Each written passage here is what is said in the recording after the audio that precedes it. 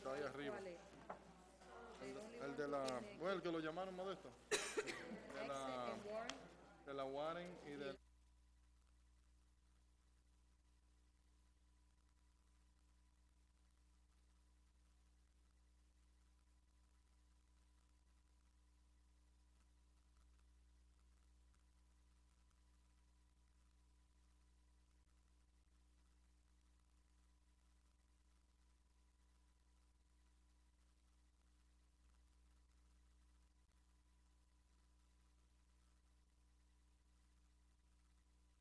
Nueve no lo Ya. está aquí.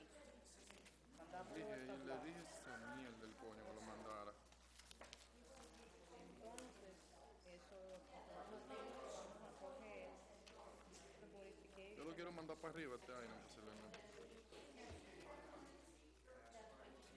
Yo le dije el que lo mande. Y esto que es lo que ustedes van a hacer, review the modification of resident speaker parking on Fairmont Street and as the following. ¿Qué ustedes quieren hacer con eso? Review the modification of the speaker on Fairmont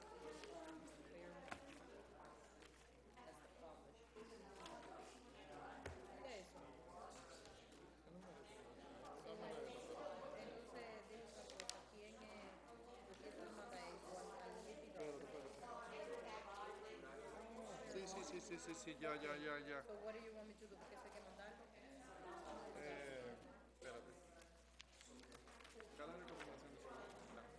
Lo que pasa fue que hubo un error cuando, write down, cuando escribieron lo se lo que haga eso, ¿qué quiere que haga?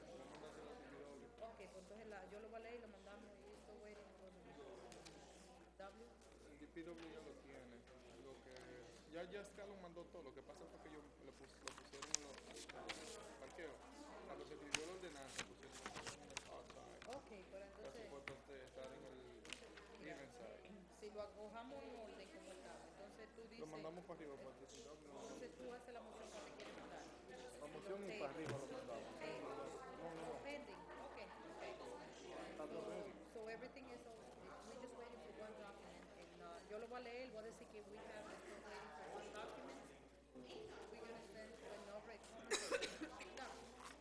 pending that, that, um, that document.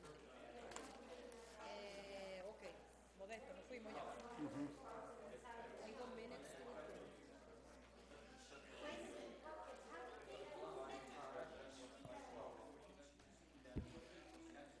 Ready? Giovanni. Good evening and welcome to the Ordinance Subcommittee. Today is Thursday, September 28. Members are present, Councilor Modesto Maldonado and Councilor Giovanni Rodriguez. Councilor, can I get a motion to approve the minute of August 24? So move. Second. All's in favor? Aye. The ayes have it. Okay, the first item on the agenda is document 17617 is the review modification of the resident sticker parking on Fairmont Street as the published. Um, Counselor, we have the report from Officer Scanlon, but we're still waiting for uh, recommendation for DPW. What do you want to do with this um, We'd like to make a motion to send it to the full council with no recommendation pending uh, documentations and, uh, pending documentation from DPW. Second. All's in favor? Aye. Aye. The ayes have it. The next document is document 31317 is International Energy Conservation Stretch Code Adoption Request, and that has been put in the agenda by Commissioner Peter Blanchette. Good evening. Good evening, Madam Chair. Good evening, councilors. Good evening. Councilors, what I have before you is a proposal by the city to uh, improve our energy conservation efforts in the city. Um, In 19, uh, in 2006, the Commonwealth of Massachusetts established uh, new energy codes uh, to be followed um, in new construction. Um, They came out with two different codes. They came out with one that was um, easier to swallow, let me say, uh, for most, for a lot of communities. The second one was, that would be the normal um, energy code. The second one was the uh, energy stretch code. By qualifying for the energy stretch code, the city then qualifies to be considered a green community, which is um, something that the city desires to, to be, um, be called. Um, It raises the, the, uh, the bar on the amount of energy conservation um, that builders are required to put into their, um, into their construction. The, um, the energy code um, that we're asking, the stretch code, the first question that always comes up is cost. We're very lucky. First, let me say that this stretch code, these new provisions are added provisions. We're already uh, following the regular um, energy codes, and um, we're having um, great success with it and great savings for homeowners. Our builders in the city, the ones that are going to be affected by this, are already um, pretty much reaching the stretch code as we speak. Uh, So there's uh, not going to be too much difference in um, what the builders are expected to do, or what uh, my department, the building department, is expected to inspect. Um, The, the, the added costs uh, to each builder would average maybe t- 12 to uh, $2,200 to maybe to $2,500. As I said, the uh, um, most of the builders are, are just about complying with this. Uh, We, we, we had a, a session with all the new builders. Now, let me also explain real quickly that this uh, new stretch code would only affect new uh, residential buildings, newly built residential buildings. It'll go into effect in about six months. So buildings that have a hole in the ground already, are already in progress, will not be affected by the new code. Um, We, we sat down with most of the um, contractors, I think all of the contractors that have been known to uh, do this type of uh, new uh, residential construction in the city. They're uh, infill building in our city. Uh, Most of you know who they are. We sat down with them, we explained what we were doing. Um, In unison, they were in support of this. I'm sure they'll come to the full council if there's any questions to, um, to to say that. Also, too, might I- might I add, by becoming a green community, um, this is going to allow the city to apply for numerous grants that become available from the state and federal government because we're making these energy conservation efforts, not only through DPW with these grants where we're doing public buildings and those types of things. This one here would be for the building department so that we can oversee the new construction.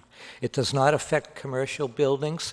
Um, it- The only time it would affect a, a commercial building if it's brand-new. We have very, very few uh, brand-new commercial buildings. It does not affect, uh, it won't add cost to the renovation of the new, uh, of the old commercial buildings that you see a lot of happening here in the city. So the benefits that we are going to get out of this is, is great. The consumer th- themselves um, see a a- a huge added benefit although the, uh, the added cost for, um, for uh, meeting the requirements by the builders will, of course, be passed on to the consumers. However, through the um, rebates, um, et cetera, that is afforded uh, the people that are buying these homes through um, Energy Star and other companies, and having a certificate of what they call a HERS rating, which is a home energy rating, uh, which will be required for new homes constructed. They'll have that certificate and be able to apply for, for grants because of their energy conservation. The average home, um, 27 to uh, th- 3,000 square foot, uh, we'd be talking um, up, up, up to 12 to 1,500 dollars a year in energy cost savings. So uh, by the, the 2,000, although the homeowner most of the time isn't building the home, when you add it up, the, the cost over a 30-year mortgage would be maybe um, a $100, but it's definitely made up per year in the, um, in the, in the savings of these ratings. So uh, There's 127 communities as of um, September 18th of this year that have uh, became green communities and have adopted this stretch code. Um, I would also say that we, I did mention that the grants are available. We are in the process of applying for a grant, and this would um, help us, uh, this is mandatory for us to get this grant that's going to help um, provide energy savings to our school buildings and our civic buildings, as well as energy savings to uh, new home buyers in the community. Um, I don't think I have much more to add than that. Um, I, I, as a building commissioner, um, think it's a sensible thing to do. I wanted to do it um, seven, eight years ago when I, when I first got interested in the new energy code. Um, It, it- it kind of just fell through the cracks at that point. I will also point out that we'd be, we'd be taking a lead, um, along with the other 127, we'd be 128, and um, all the rest of the communities within the next five years will be complying with this code anyway. Um, It will be becoming, um, it's set to become mandatory under the state building codes. Under the, I think not the next edition that's coming out, probably uh, two more editions. So that would be about five or six more years. So pretty much we would be doing this. We're doing it a little quicker. Um, As I said, we do have an outstanding grant. However, there's um, other grants that uh, we can seek out by being labeled a green community, and we'd also have in our pocket the fact that we do, um, we do require um, compliance with the Energy Stretch Code for our residents. Thank you. Any questions? Thank you. Councilor Maldonado. Uh, Peter, the, uh, y- this ordinance is going to apply only to new buildings, New residential buildings, new residential. that's correct. Uh, How about those buildings that, for example, have extensive rehab, if they have, ha- have a fire and they're required to, so it's not going to apply Not to at all. Um, um, Some of the, um, because they're rated, they'd be rated as a whole. We can't, if, if someone's rebuilding after a fire counselor, we, we have to look at what they're repairing. And this type of rating has to take the whole envelope, so it really wouldn't work uh, to do that. When they go in with these HERS raters, the home energy uh, rating system, when those HERS raters go into a building, they look at the building as a whole. They're, they're checking for window leakages, they're checking for ductwork leakages. They do testing, they call a blower test. They put this large blower uh, on the, on the front door, and they shove air in, and they, they seek out leaks through you know, some technology that they're capable of doing. They then, they then, they then give a score, and um, uh, builders would require to come up to a, um, an 80% score. Um, Most of our, um, I'm I'm proud to say, and I'm, I'm proud of the builders that we have, most of our builders are already over uh, 80%. What are the specific items? I, I know, for example, that in new construction, all rehab at new additions, uh, uh, two by six are required with six-inch insulation. Uh, Is that staying the same, or is that going to change? No, that will stay the same. Um, Most of those, those, uh, those are things that are being done under the regular uh, energy code.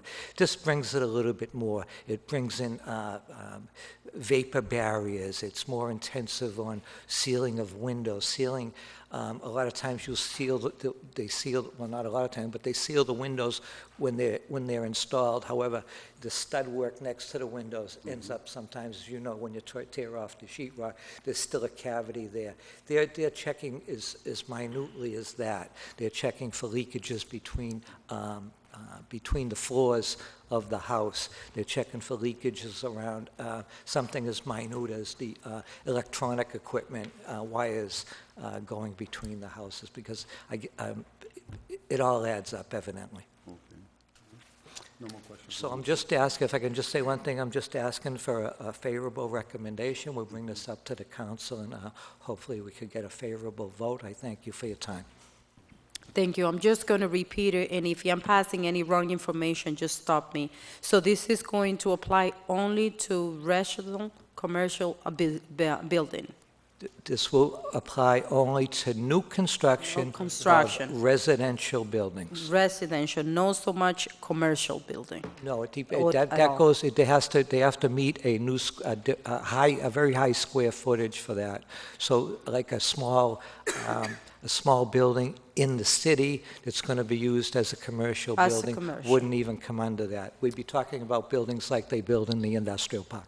Okay, Councilor Rodriguez? Sure. Um, Right now, the city of Lawrence um, obey the um, International Building Code, right? That's correct. 2009.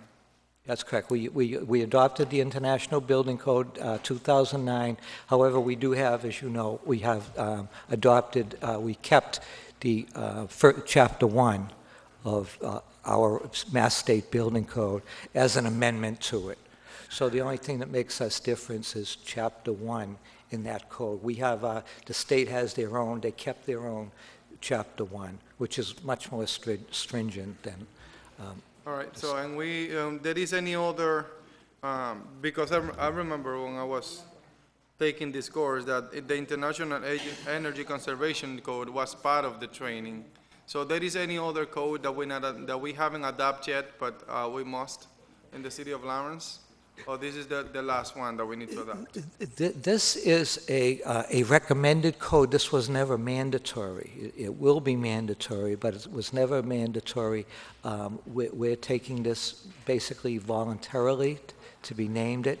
We- uh, When they came out with this code, they also came out with a resident, a a regular residential uh, energy code. So cities could pick and choose. Did they want to do the, the more stringent one, or did they want to do what we did, is we kept it, you know, the, the new energy code that came out in 2006 and uh, 2009 um, is much more stringent than what we had, you know, years back, and, and it's a, it's still a very good code. This one um, just takes it up a little bit, and we have the option, and we have the option to adopt it, and that's what I'm asking for. All right, so, no, I, no, I, I got, I got, I, I get it what you want to do, and that's exactly what, what need to happen, you know, as soon as, as soon as those codes become available. Uh, there is any other code that it is recommended to be adopted by any municipality that we haven't yet?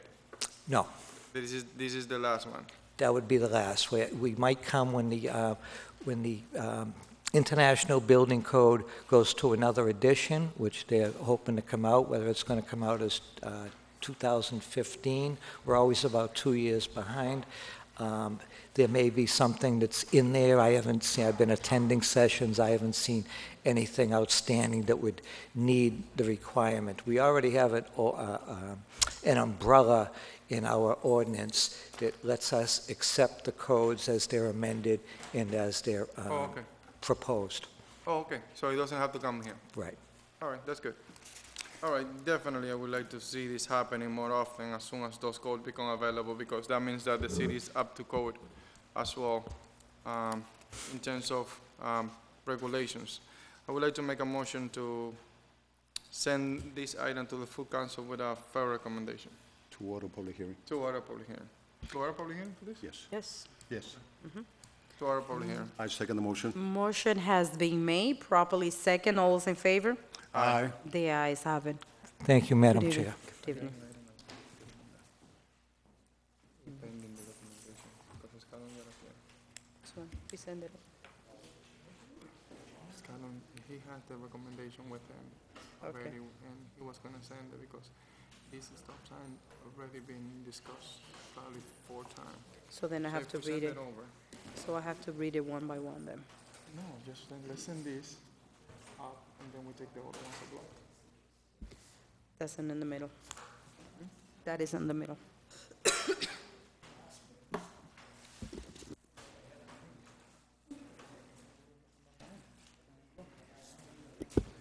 Is, um, okay. Can I get a motion to take document 317 out of order? So move? Second? All those in favor? Aye. Aye. The ayes have it. Document 31717 is a stop sign exit in Warren Street, um, safety mitigation. Uh, Councilor Rodriguez? Yes, um, this item is a stop sign on Access and Warren Street. Uh, we were supposed to have the recommendation today because this, this, um, this, uh, specific stop sign has been put on the agenda probably three or four times before. And, um, I, I spoke with the, um, with the person I have that recommendation to be able to get it today. He told me that he was gonna send it, probably something happened. But I would like to uh, send this item to the full council to order a public hearing pending the documentation from uh, Officer Scanlon and the DPW director. I second the motion, for discussion. Sure. Second discussion. Uh, Madam Chair, I believe that this, uh, as uh, Councilor Rodriguez indicated, uh, this item has come in front of us uh, probably on more than one occasion. And I know that the recommendation of Officer Scanlon before has been a negative one. Uh, But uh, it seems to me that uh, because of the outcry of the uh, citizens in that area, uh, I I believe that we should try it and see what happens. So I'm definitely going to support this uh, uh, to, to see if it, if it works out. Yeah. Okay, so more To send it to the full council, uh, pending. order a public hearing pending the documentation from If you Officer Scanlon already Second and the motion. The motion has been properly second. All those in favor? Aye. The ayes have it. Scanlon and the DPW director. Yeah. So can I get a motion to take document 314, 315, 316, 318, and 319 as a block? So move. Second? All those in favor? Aye. The ayes have it. The document 314 to 319, we're going to send it to um, Officer Scanlon for recommendation. Can I get a motion to send all the So move. documents? Second? All those in favor? Aye. The ayes have it. Thank you. Cassandra, do you got all that? 314 to 319 as a block to send to Scanlon. Yeah, 314, 15, 16, 18, 19. 15, 16, 18, 19. Yes. Yep. Thank you. So the next document is document 32017. It's a transfer rental license, 71 Main Street, and has been put on the agenda by Carmen Baez. Is Carmen present?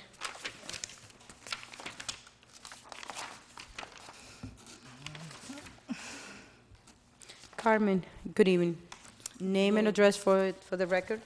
Yes. My address is 71 May Street, Lawrence, Massachusetts. Carmen, eh, this is a renew license or this is a new license? Renew. It's a renew license.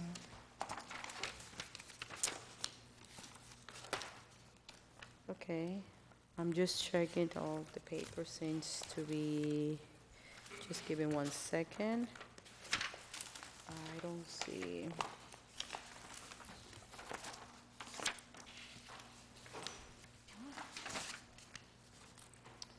Okay, I see here was done two weeks ago and found to be okay. All the paper seems to be in order. It has been si- signed by Walda Wallace. All the departments sign off, which is mean like uh, she doesn't owe any taxes, any water.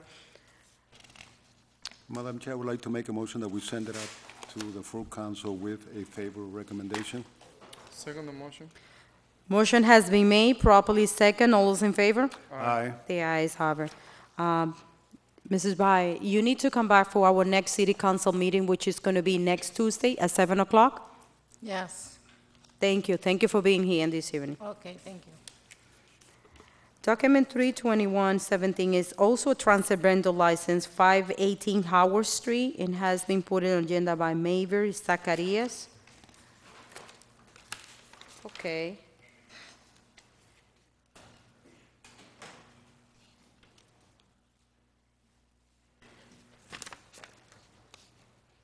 Name and address for the record. Eh, El nombre y la dirección para el récord. Ah, Pasión Steve Taco, eh, 68 Tu, tu, tu nombre y tu dirección. Mayber Zacarías. Mi dirección es 518 Howard Street. Okay. Um, this is a renew license. ¿Esto es una licencia para renovarla o, o es nueva? ¿O es a new license? Es nueva. Es, es nueva. Sí. It's a new license. So, what are you planning to sell? ¿Qué tú piensas vender? Ah, comida mexicana. eh, Mexican food is what he's um, want to sell. Um, Mr. Zakaria, what I see here is that your truck need to be re-inspected.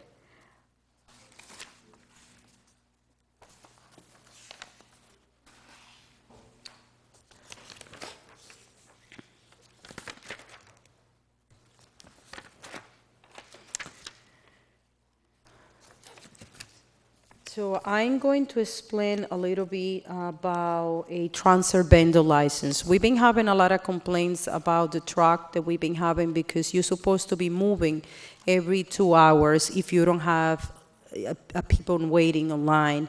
Ah, nosotros hemos tenido muchos problemas por eh, con los troces porque se parquean en un solo lado y usted está supuesto a moverse cada dos horas si no tiene una línea esperando. ¿Usted sabía eso? So, también yo leí aquí que su, su truck necesita ser otra vez inspeccionado. ¿Usted hizo el trabajo que usted necesitaba hacer? Sí, Are you todo- working on the work that needs to be done? Sí, todo, todo estaba eh, inspeccionado. Eh, la que inspecciona lo inspeccionó antes de salir a vender. Pero usted sabe que hay que volverlo a inspeccionar. No, no sabía. Truck inspection needed. ¿No? Nueve. Okay. So, yeah. When was the last, when was the last time that you inspect that truck?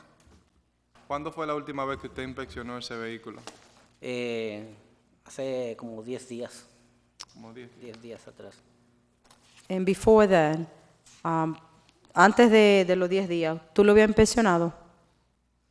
Sí, eh, ya, ya estaba inspeccionado, sí. Okay. Do you have any copy of the last inspection they did? Sí, pero se quedó en el carro afuera. Ah, ¿Dónde se quedó? En el carro tengo la copia sobre la... Pero aquí.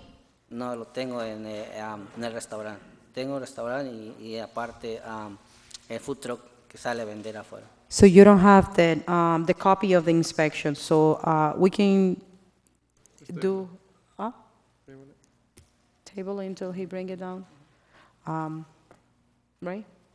You feel comfortable to table until he bring the, the, the next copy? Because, unfortunately, we're not gonna be able to send this up until we see that, uh, the last report from the inspection of service. So what we're gonna do is, we're gonna table for our next, um, ordinance meeting, you're gonna bring the copy. Um, if he can come back today, you think he's gonna make it on time?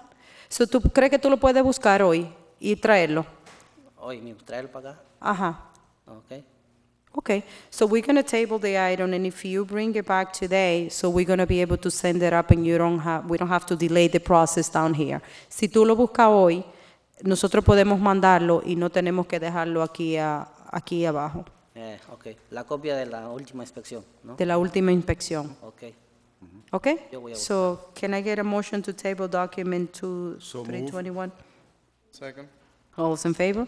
Aye. The ayes have it. Vaya, búsquelo y vuelva. Está bien. Thank you. Antes de las 9. An- Lo más pronto que usted pueda. Gracias. Okay.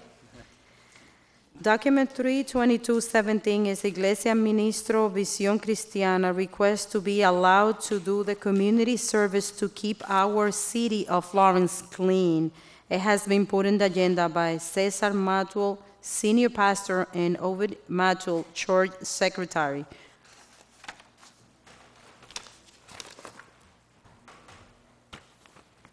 Members of the council, I'm honored to be here today. My name is Obed Matul. I'm here representing Ministerios Visión Cristiana located at 29 South Canal Street, and I'm here with some members from our church. We are, our proposal this evening is that we be allowed to do a community service day here in the city. Our date that we have in mind is October 21st. It's a Saturday, Saturday morning. Uh, right now, we have about 150 to 200 volunteers, uh, teenagers, students, um, young adults, and adults that are willing to come out and clean the streets. We want to go to the, to the main street. We want to go to parks, basically any common area here in Lawrence. However, our request, our proposal to you is we need, we need supplies such as trash bags, uh, brooms, shovels, and whatever, whatever else be needed to, to clean the street. Also, we would like the DPW to support us, and we're gonna go around the, around the, in, uh, the streets, clean everything, and leave everything in bags at the corners of the streets, and then the DPW trucks or whoever the, whoever's in charge of trash removal can come by and pick up all that trash. Um, Again, like I said, we, we are a family-focused church. We believe that families are the main core of society, and we love the city, and all we want to do is just keep it clean. Thank you. That sounds like a fantastic plan. Have you been able to get in touch with DPW and present your plan? I haven't. I called last time, but they, they transferred me, and they told me that I needed to come here first and, and get, and submit my letter, which, which is what you guys got, and, um, and then go back to them. I thought I saw DPW director here. The the DPW director is here. So here, he's the person that you didn't get in touch. Nice. See how small words are? So he's the person that you need to get in touch. So, Mr. Harkis, if you can uh, come up to the podium, and if that is something that um, we want to make sure that we're not going to say yes, and whenever go back to you, you say, no, this is not something that the city is going to be able to do. Good evening, Council. Carlos Hack as Director of Public Works. We're certainly more than welcome to support this initiative um, on behalf of um, Iglesia. Um, Certainly, we welcome any opportunity that we have to assist the department of keeping our city clean. Uh, We assist, uh, there are many volunteer, both from a community-oriented perspective or faith-based perspective that come to my department on a day-to-day basis requesting our assistance. We're more than welcome to accommodate this request to them. Um, If you have any question, this is your opportunity just to ask all the question and all the requests that you have since the- in public, he say yes. By the way, you say that you were requesting that uh, brooms and other stuff, or you Yeah, have- uh, supplies and material. We have volunteers, we have, uh, we can, we can supply the labor, but we need, uh, materials. We need trash bags. Uh, By the way- It's, it's hard to give you an exact number about how many trash bags we would need, but I would say maybe at least two hundred trash bags. We, we would need at least maybe, at, at least eighty brooms, some shovels to pick up, uh, if there's a lot of trash or a lot of things that we can't pick up with our hands. uh, usually what happens with, um, in a cleanup operation, uh, the, the, the organization that support, that support every, or most of the cleanup here in the city of Lawrence is, uh, Groundwork Lawrence. They have all the materials, uh, you know, a lot of material from the Earth Day or, or the, um, Spicket Cleanup River uh, the Spicket River cleanup, and usually they are, they are the one that provide that, that, that type of support. Uh, if you get in touch with them, they are more than welcome and happy to provide, uh, to provide you with, uh, with that, uh, material that you might need. What's, what- I'm sorry, what's the department's name? Who are they? Uh, the organization, the non-for-profit organization, Groundwork Lawrence. Groundwork Groundwork. Lawrence. Okay, um, how do I find their contact information? Would I get it through DPW? Yes, you, you can get it through him. So what, if I was so- you, I'm sorry, if I was you, I wouldn't lose this opportunity and grab all the information that you need with the DPW director, and I don't lose any time. I just come and grab him in public and say, listen, this is what I need. I'll jump on him. Um, The city needs So- this, and, and just to kind of exchange information now. Okay, Yeah, so uh, get in touch with the Groundwork. They are they very um, they're very happy when people do this, and they they have the material. okay. And uh, and DPW is there that can help you with that uh, uh, in terms of picking up the trash once you guys uh, clean it. Okay, But, thank um, you. Make sure you get in touch with Groundwork Lawrence. They have a lot of materials that they need in terms Okay, of gloves, everything. They do the biggest, uh, two of the biggest cleanup in the city of Lawrence, um, which is the, uh, the, the Spicket River cleanup and the, Earth Day. Okay, thank you. Thank you. Madam Chair, motion to send it up with a favorable recommendation? Second. The um, motion has been made properly second. All's in favor? Aye. Aye. The ayes have it. You also need to come back to our next city council meeting, which is going to be next Tuesday at 7 o'clock. And thank you for taking your time, you and all your members, to help our community. Um, If we can have more that can be volunteer and do that, um, I promise, and I'm gonna make that promise in public, that I'm gonna be part of that. Thank you. Uh, And by the way, if you want to find a very good spots where you need to clean, let me know. I'll help you with that. Okay, yes, No, we will. Councilor Rodriguez, I know that you want to grab it all to District D, but if I'm volunteer, it's because I'm also in in District B. All right, thank And, you. um, I, I help you. Don't worry about it. so, yeah, um, thank you, thank you you. very much. Thank you talk now or? There you go, yes. I like to work with people that follow direction, good, good. So the next document is um, document 30117, Lawrence Historical Commission, a request that the North Common National Historical District be properly referred to as the Common. Is anyone represent the historical? No? Can I get a motion to table document 30117? So move. Uh, Second the motion with discussion. Second with discussion. So It's table, no I discussion. mean, to, to No, just- table. Just, just table. explanation, I'm sorry, just, Okay. just an explanation. Uh, Jonas, Jonas, uh, the uh, sponsor of this, uh, had surgery, uh, so we may want to send uh, Correspond- correspondence to the other members of the commission to send somebody. I think he wants to be present. Uh, We're just going to table, and we can send recommendation to him if you accept that, Mm-hmm. um, because we have conversation in the past, and he really wants to be present. The problem is that he has surgery. Yeah, but until, that can wait until he gets better. Okay, Okay, sure. So motion to table document 301. It's already second. All's in favor? Aye. The ayes have it. Document 30217 is Salon MII request to parking space for business access near 434 Prospect Street. It has been put in the agenda by Marisol Cueto and Mariluz de Jesus. Are any members present here? Because I'm not quite understand what they are looking for, so if they're not present, um, can I get a motion to take a, to table document So 302? Yeah, vamos a table. Not clear. Can I hear a second? Second. All those in favor? Aye. The ayes have it. Document 303 is Everett Street Safety Concern, has been put in the agenda by Frederick Diaz. Mr. Diaz?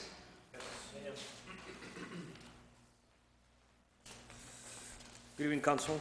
Uh, Frederick Diaz, um, 19 Bailey Street, South Lawrence, District E.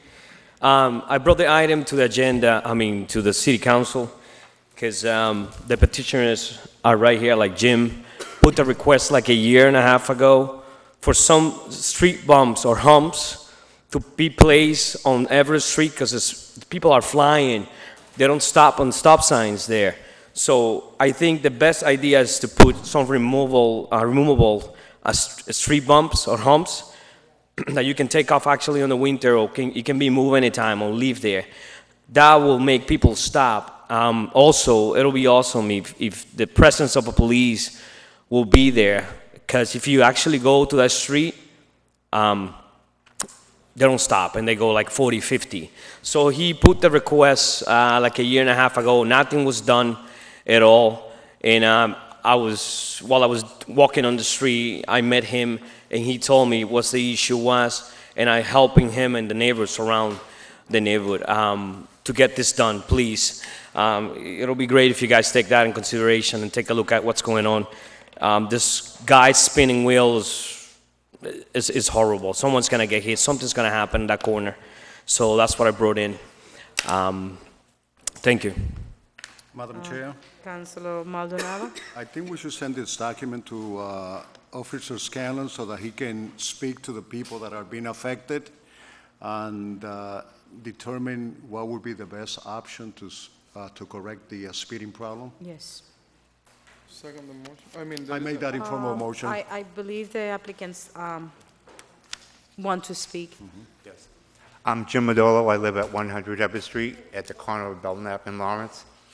And I've lived there since 1959. And through the years, Everett Street has been made into a cut-through from South Broadway to Route 93. Now, you have to understand, on Everett Street is now the Riverfront State Park that has, you know, children's playground, has the tennis courts, uh, basketball courts, plus it has the boat ramp, and in addition to the state boat ramp on the other end. Um, There's only one stop sign on Everett Street, and that's at my corner. Unfortunately, most in- individuals do not stop. They think the word stop means slow till others pass. So we've come up with a a list of recommendations, and it doesn't mean each one could be adopted. Possibly add additional stop signs on Everett Street, one at the corner of Carlton and Everett. I understand there's some concern about the installation of a stop sign there because there's a slight hill there, but there's other hills in the city that has stop signs on a hill. And my street in the wintertime is well taken care of by the plows and the sand trucks. It's mostly bare when there's a snowstorm. So if additional stop signs could be installed, that would be great. Maybe we could possibly do this installation of the stop sign first. If that doesn't work, maybe we can go with the speed bump or speed hump issue. Okay? Another recommendation would be if the speed limit could be reduced to possibly 25 or 20 miles an hour. Currently, it's 30 miles an hour, and I believe that's citywide, except when there's a school by, nearby. Part of the street is within two blocks of the Wetherbee School. And again, the state park is there, and that state park is utilized by hundreds on a daily basis. Um, During the past year, there has been four accidents at my corner. One car, one car drove through my fence. Another car drove through my neighbor's fence diagonally across from me. Two weeks ago, someone plowed through the stop sign, hit the telephone pole on the opposite side of the road. Um, And then there was another accident. And I met a gentleman, Everett Street is connected to Rose Street. I met a gentleman the other morning, because I take care of a couple of triangles on my street. Um, I understand there's been four accidents on Rose Street, because they come down Shattuck, swing around to Rose Street, onto Everett Street, and it's a straight line. They step on that gas. They don't care if there's kids, you know, nearby, or anyone's walking across the street. So, over the years, it's just getting worse and worse, and I'm, I'm asking for something to be done. Through you, Madam Chair. Uh, Councilor Rodriguez. Do you notice that we spent four hundred thousand dollars from the uh, Full Street ordinance on that street? What, excuse me? Do you notice that we spent four hundred thousand dollars from the Full Street ordinance that we get from the state on that street, on that location around there? And there is traffic calming, and there is a lot of improvement there. Right, I believe that was spent on that triangle, Yeah, it was spent on that section of that street. and, and, and I just wanted to be fair, because it's been a lot of, uh, talking about a lot of negative, but I mean, there is some investment there. Ri- Right, and, you know, and th- that's still in a working process, they're still finishing that off, but this, Traffic calming that they put in, there is a, you know, the bump up on the, uh, on the curving for the pedestrian to be able to go from one side to another side, which is gonna help a lot in terms of reducing the speed. And there is a lot of other, um, right, but improvement around after, there after they pass that speed, um, that, that j- bump out, Mm-hmm. they step on the gas. Up to when they come to my house, they slow down to the stop sign, most of them don't stop, and Because then, the issue that I'm seeing here is the, is an enforcement issue. Because there is two full-way stop sign on that, on that road, Mm-hmm. less than a thousand feet from that traffic calming and the flashing lights. So it's more of an enforcement issue there. But what I'm asking, I think it is And an if we enforcement. put, if we put the speed bumps and everything, I mean, it's gonna be like, you And know, and overkill. occasionally, the police do enforce it. They usually nab one person, but then they leave. I'll, I'll, let's send it to, to Scott. Madam Chair, Councilor Maldonado. m- again, my suggestion is that we send it to Officer Scanlon so that he can meet with the gentleman, look at alternatives to see what can be done. Uh, And I'm, I'm sure that Officer Ca- Scanlon can come back with some recommendations and suggestions on how we And can we- improve the and- situation. And we also have tractor trailers that are coming down the street, Yeah. too. I- I, So- yeah, I agree with Councilor Maldonado. The proper Alright, way is just to, um, if you can pass his, uh, your information to um, Cassandra, she's going to be taking your number, so whenever we send the recommendation to Officer Scanlon, he's going to get in touch with you, and you can explain to him, um, you know, and he can come back with some recommendations. Okay, if. Okay. yeah, Alright. if You don't have to give it in public, we just, we're just gonna call after- for a after this motion. meeting? Yeah, we're just gonna call the motion. So the motion is to Motion send is to send it to Officer Scanlon. Second. to, uh, for recommendation and to get in touch with the applicants. If you can pass your information to, Is it possible I could piggyback on Jim's testimony uh, just for a minute, as he referred to me uh, concerning the the corner at Rose Street? I'll just take 60 seconds if that's okay. yes. Uh, Tom Coughlin, 44 Rose Street in Lawrence. Thank you, sir. The um, four accidents that he's referring to were cars that came down Everett Street, typically at a high rate of speed, failed to negotiate the turn. It's a a fairly gradual turn onto Rose Street, about 45 degrees, but they're going so fast that they end up on two wheels. One took out my niece's uh, car, which was driven into several other automobiles. Another one snapped off a telephone pole, ricocheted off the pole, T-boned a taxi up at the corner of Everett Street, ricocheted off that, went into a driveway on, uh, on uh, Newton Street, rather, excuse me, hit two more cars driving one of those cars up the steps of a second-story deck. I've- These never made the police notes for whatever reason, but the, the uh, fire department who responded that night said the guy had to have been doing 70 or 80 miles an hour. It, it took them 45 minutes to uh, extricate the cab driver. Uh, People routinely come around the turn, uh, head into the, into or towards the woods, try to overcorrect, and end up uh, either hitting parked cars or telephone poles.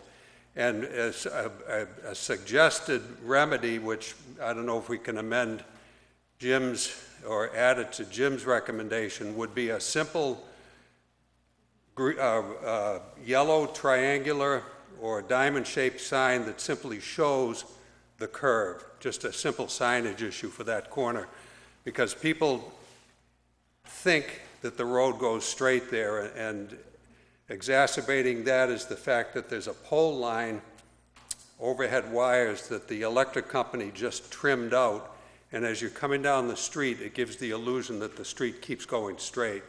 And there've been uh, four major accidents there just in the last 18 months. So t- to me, it would be an issue of signage uh, rather than enforcement. Do Councilor you have, Rodriguez. do you, uh, do you have those recommendations here, so?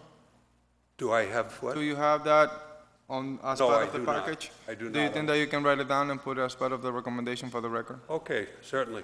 And I'd also like to thank Counselor Abdu and uh, Counselor Diaz and the mayor and everybody for the improvements that they have made down there at the uh, DCR Park. It's, uh, it's beautiful, nice work. Thank you. Thank Uh, uh, Yeah, so, yeah, so we're just gonna be calling for a motion, and um, when Officer Scanlon's ready, just to revisit the area, he's gonna get in touch.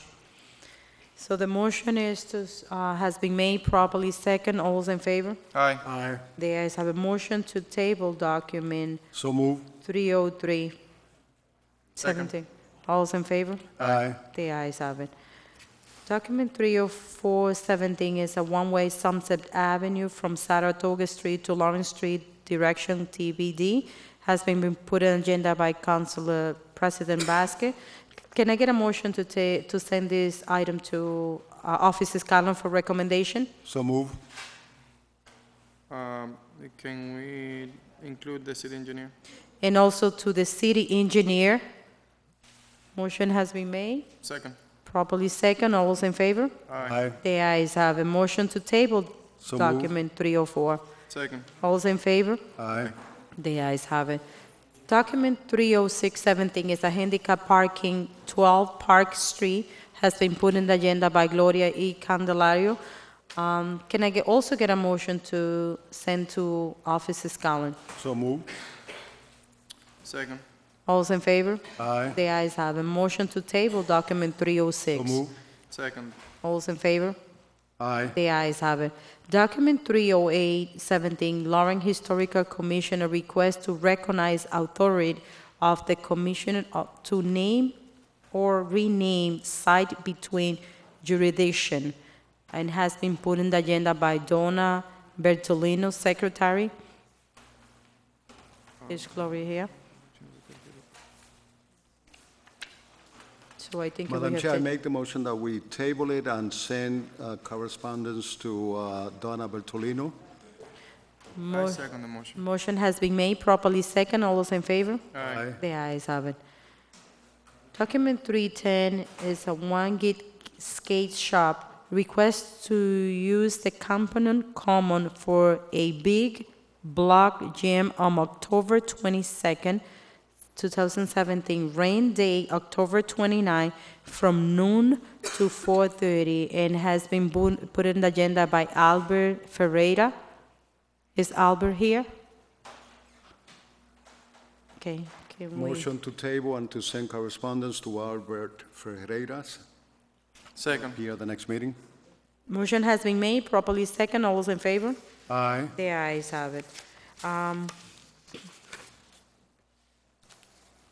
I think- Can I get a motion to take document 4817 out of table? So move. Second. All those in favor? Aye. The ayes have it. Document 4817 is a Devon Charn Street, closing a portion, and um, I think we have Councilor Abdul, who is here to speak on behalf of the items, and also we have um, quite a few residents.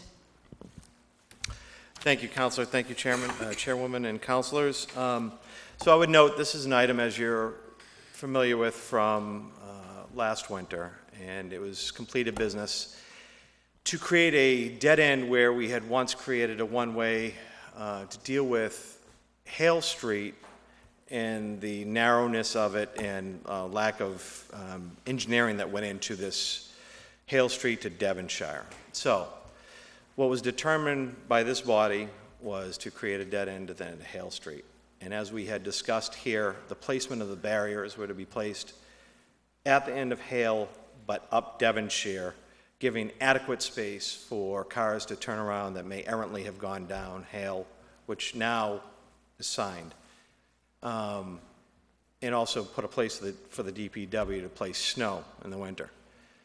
Um, Sometime, I would suggest it was probably the end of July, three Jersey barriers were placed at the end of Hale Street, directly at the end of Hale Street, not allowing a place for the snow to be put, not allowing a place for the three-point turns to occur, and therefore you had cars backing up Hale Street and turning around on people's lawns, people's properties, people's driveways.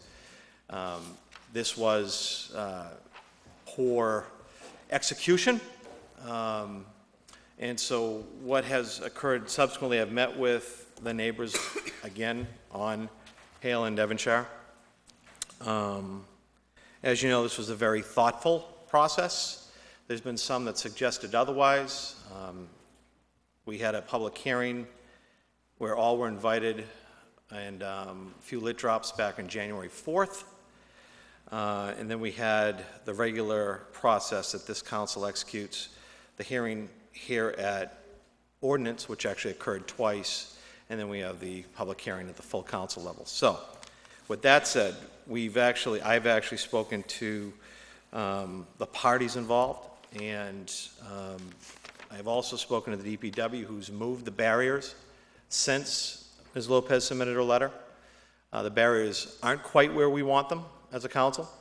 Um, I've spoken to the Public Works Department, we will get them moved further, um, further up Devonshire, so that there is room for the vehicles to do their three-point turn.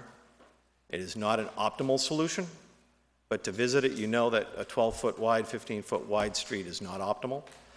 But there, there will be place, there is a place now for cars to do the three-point turn in the snow, but it's not where we had discussed. So that barriers, if you visit it, they need to go further up Devonshire so that vehicles on Hale can properly execute three-point turn, stay off people's private property, and for the city, come snow, put it there, what's plowed at the end of Hale, and then also at Adams. Um, I would also note that what led to um, some consternation was signage wasn't immediately put up. So um, that was about four or five weeks ago. Two dead-end signs were placed at the end of Hale Street. Two dead-end signs were placed at the end of Adams Street. And then again, dead-end signs placed at the end of Devonshire Street. So uh, that seems to be uh, well-received by the proponents and uh, those that have not been fully supportive, if you will, um, seem open-minded to um, seeing how this progresses. See how the winter goes as far as snow placement, and see how it goes as far as the cars doing three-point turns. I would conclude my comments by um, letting you know that the barriers still aren't where we want them, uh, where we had decided as a council. Um, I would suggest to you they probably need to be moved about another 25, 20 to 25 feet south on Devonshire uh, to a point just north of the Jake's property, which is the only one in Devonshire, um, north of the driveway of the Hale-facing um, home on the corner. I believe the last name is Martolucci. So um, this is something that uh, I've been in contact with DPW. They put the signage up, and now it's placement of those barriers where they're supposed to be. Uh, That has not occurred yet, um, but it is on the to-do list. With that, I thank you for your time, and I'll turn it over to the, anyone else here. Thank you. Councilor Maldonado? Is Maria, Maria Lopez here? No, I don't think that she's She's here. not here? No, she's not here, but Uh, we met. uh, Councilor Abdu? Councilor Abdu?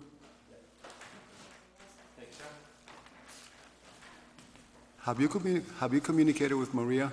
Yes, You Yes. have? yes. Uh, Do you find that she's happy with the uh, new arrangement, that, that, uh, I would not use the word happy. She, but she is, she is satisfied that Okay. we're listening. She's satisfied that, um, that the barriers where they were was wrong. okay? And um, so I, I think we have a level of, of trust amongst all right now. Um, I would note, there are um, letters, more letters for the record I'll submit later. Um, But Ms. Lopez, um, I believe, is content. Um, And I have not heard any negative um, from any other I- folks. Yeah, I, I understand that this is going to be the first winter Yes. where this is going to take place, so obviously we need to wait and see how uh, the snow, uh, Where it pushing goes. the snow is going to affect, and then uh, maybe revisit this situation if the case is that, that, uh, that the snow banks may become too big to the point where it will create, again, the situation of people having to, uh, having to turn around, making U-turns in her driveway. Uh, You also mentioned that the signs are already up, right? The signs are now up. They were Okay, not so- up immediately. So it says that it's a dead end. It says dead end. Two signs, end of Hale Street, two, uh, two signs, end of Devonshire. Excuse me, two at Hale, two at Adams, one at Devonshire. Mhm, Okay, okay. So it seems to me that what we should do is wait and see what happens in the winter. Hopefully, uh, things will work out.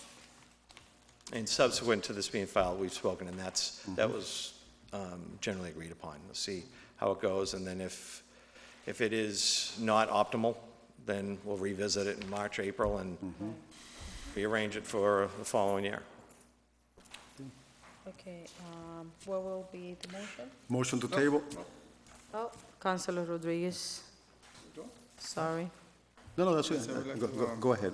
Wait, I have two questions for that, Yes. uh, for the director, DPW.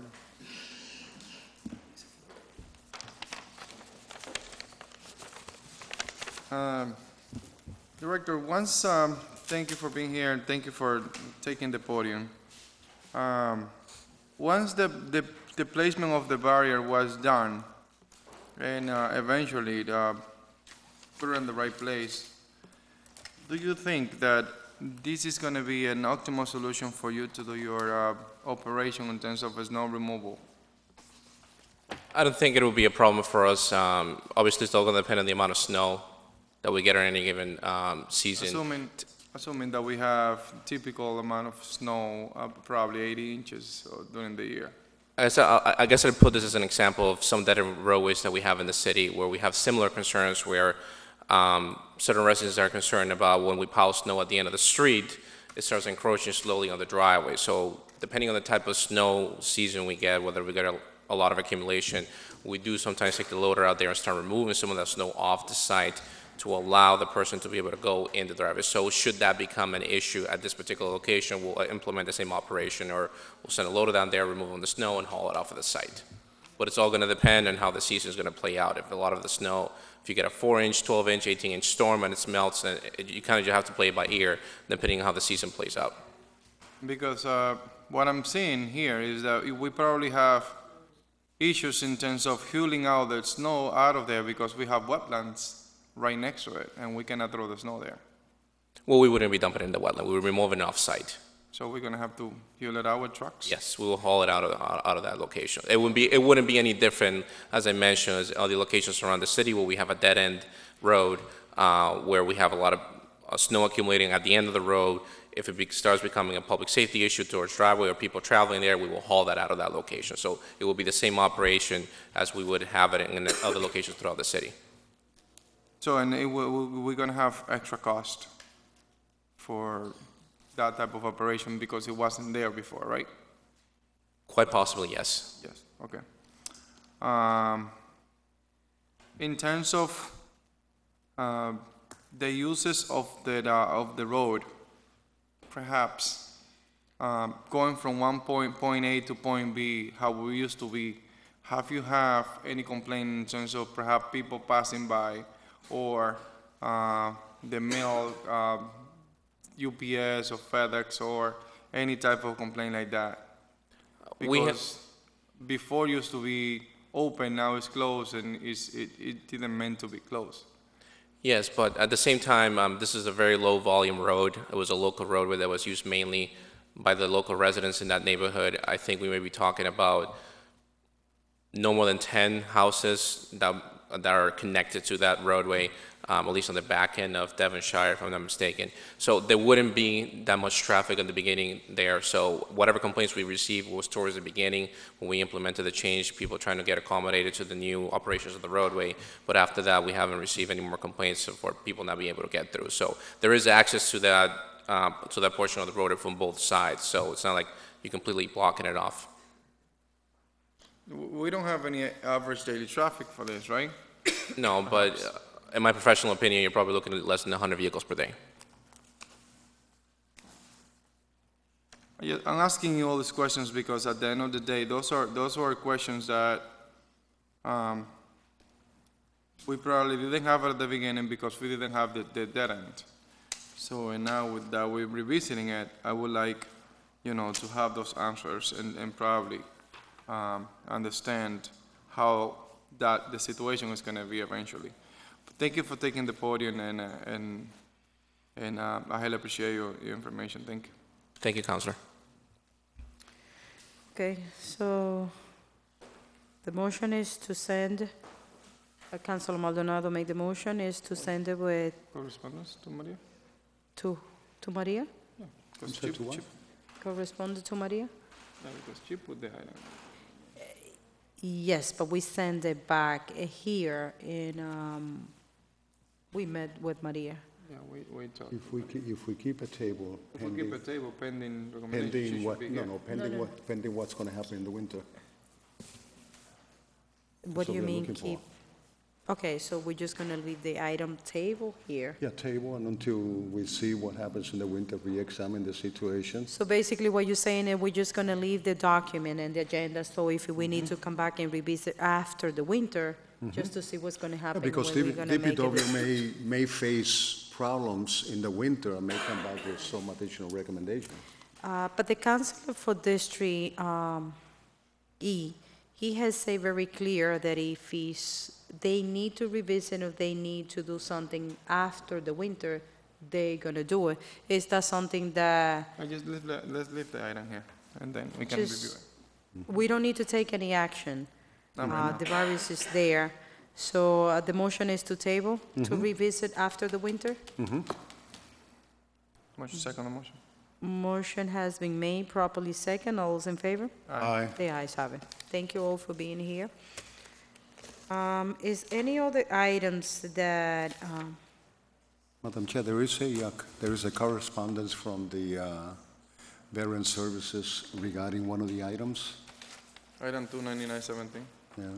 291? ninety-nine. Dedication of Railroad Street, Everett intersection, one of Jaime veteran Mariano Tavares. Okay. It's in the table item, right? Can I get a motion to take document 29917 out So- of table? So move. Can I hear a second? Second, All those in favor? Aye. The ayes have it. Document 299 is a dedication of Railroad Street and Haver Street intersection in honor of Army veteran PCF Marino Torres Miranda, and has been put in the agenda by Councilor Vasquez. So what do we have? Madam Chair, there is a letter, uh, if- maybe if you allow me to read it, and then we can ask uh, uh, Mr. I think that we should, we should discuss with both Huh? parties before we read it. I'm sorry? I think that we should discuss this with both parties because we, before we read the recommendation, and that way they can, uh, agree upon something. Okay, okay. Okay. Okay. So, I sent correspondence to both, uh, Councilor Vasquez, and, uh, proposed it, and, and, uh, And Je- Jaime and Melendez. Jaime Melendez. and Jaime Melendez. But they're not here. So I would like to make a motion to send correspondence to the, the order of the, uh, of the items, Council President Vasquez, and, uh, and the Director of, um, of that, um, of Office and, uh, Office of Veteran Services, uh, Jaime Melendez, to be present for the next, uh, ordinance committee meeting. And also to table. I second the motion. Motion to table item two ninety-nine seventeen. Second. So, All's in favor? Aye. Aye. The ayes have it. Do you have any items that we need to, Sixty-eight, seventeen, the bottom of the page. I had sent a, 260, 268, that is in the uh, folder. we sent a letter in a couple of weeks ago asking that this be taken off the table. Um, it was up at the planning board for review, uh, the changing the city's zoning ordinance. okay, can I get a motion to take document 26817? Second. So moved. Second. All's in favor? Aye. The ayes have it. Document 26817 is Office of Planning of Development request to propose amendments to Lawrence zoning ordinance permitting solar energy. And that has been put in the agenda by uh, Dan McCarthy, Land and Use Planner. Yeah, I don't know if, uh, I, we sent a copy of the, the, um, decision over, um, the recommendation. I have eight copies of the statute itself.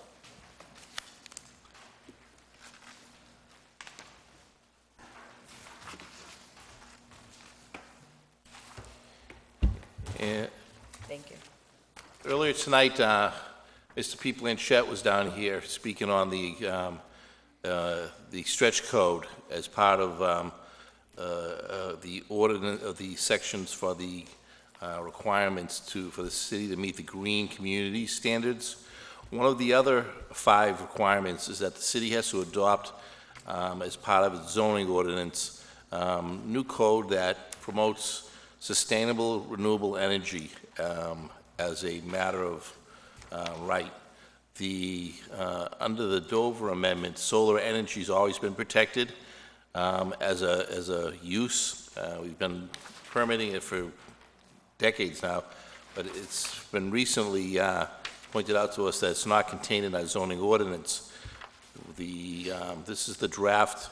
Uh, We had a committee that worked on this. Uh, We had some help from the State Department of Energy, had made some suggestions, and we created a new ordinance. Uh, As you can see, um, solar panels are allowed on every building by right, as a matter of law. Then we treated the solar energy that's going to be freestanding solar panels at, um, uh, in uh, photo, uh, the photovoltaic uh, cells um, with some conditions that they're not permitted in some areas. They're not going to be uh, permitted um, in, in uh, residential districts without special permits. They're allowed in industrial districts, but with certain setbacks. And there's a minimum size requirement if you're going to have uh, a, a photo uh, solar array in a business district. So those conditions are all um, in there, and we also have the requirements for the um, site plan approval um, section of that. So there'll be four changes to the zoning ordinance in substance. Um, Right now, the way uh, solar energy is treated, it's, it's pretty much permitted um, across the board. Um, The suggestions that we made were all reviewed by the state, and they thought they were adequate. They thought they protected the citizens. People who live in residential neighborhoods don't want a field of photo uh, arrays going up in their backyard because somebody has a vacant lot uh, or they, don't- or something of that nature. So we did put that in there to protect the residential neighborhoods, to protect our open space and our conservation area. Okay. And it- and this was also unanimously approved. Mr. McCarthy, uh, we have seen uh, a lot of solar panels being installed on the roofs now. Yes. Uh, Do they have to come for a permit? Right, they, they never have. If, the, the state has a section of the zoning, there's a state zoning law, which is commonly called the Dover Amendment. It says that certain uses are protected, churches, daycare centers, and solar energy is one of those. That the, the state and federal government has decided that solar energy is a use that they want protected, and so they made it so that cities cannot preclude solar energy from, uh, by, by using the zoning ordinance, but we can manage it in a, in a, in a limited amount. So the way we treated it in this was that if it's a photo cells that are gonna go on a building, they're, they will be, they're permitted by right, so you don't have to get a special permit for it. If you're gonna have a field of photo cells, um, for, for commercial use, um, it's permitted by right in industrial districts. It requires a special permit in uh, business districts, and it is um, not permitted in, in in our open space and conservation area. Okay, so, so what you are saying is that right now, all the uh, cell panels that are- are being installed in different properties around the city, uh, they don't come for a permit to, in the inspection of service? As far as I know, all they need is a building permit. Now, these new regulations are going to require them to, to do that, am I correct? They're gonna still have to get building permits to put them on a roof. Okay, It's part of, any part, of any part of an addition to a house, a construction to a house, should require a building permit. okay. Obviously, there is a concern of structural integrity. Yeah. Correct. One of the conditions you'll see in there is that the, the one condition we put on for roof-mounted uh, panels is that the building commissioner or the building inspector who's handling that permit can require an engineering letter um, to say that the, uh, the building that the- it's going to go on is structurally sound, and can handle the weight. So that's the one limitation, and we did that for safety purposes. So the building commissioner can, can say, well, you, you want to put them on there, I have some concerns about the weight bearing of your building, bring me an engineering letter to show that you can hold that weight, and then we'll give you the permit. But other than that, we're not going to obstruct it, and that's what the state wants. Okay. No more questions. Councilor Rodriguez? Yeah, sure, please. Uh, is the zoning board review this? No, the planning board did. The Planning, the planning planning. board did, they approved it. And that was the recommendation they sent to us? There was a recommendation, it was sent to everybody on the committee uh, about three weeks ago. Can we get the minutes for the, for that meeting? I can, I Put can it provide as those to you, part of yes. the record? Yes, I can. Um, I would like to send uh, this item to the full council with a favorable recommendation pending the minutes of that, of that minutes, uh, of, of that meeting and, uh, and confirm information, because this is, to me, this is just a, right Yes. now, it's a piece of paper. I- I'll have those documents sent up for the next meeting. At that meeting, I'll be requesting a public hearing. It does have to have a public hearing because Okay, it's we changing can the send zoning it to ordinance. public hearing. So I believe we'll be asking for a vote on the 17th of October, the, I think that's the third, the 17th or, well, the third, the second meeting of October. Yes, I would like to So I'll send have- to the full council pending the To documentation. order a public To order hearing. a public hearing, yes. Yeah. Pending the documentation of, uh, the meeting, or the minutes, or the recommendation, the official recommendation from the planning department. I second the motion. Um, all's in favor? Aye. The ayes have it. Thank you, Mr. Thank you. McCarthy. Can I get a motion to to get item, um, Two sixty-four, six, no, sixty-five? I have this first. Um, No, the- the- Carlos.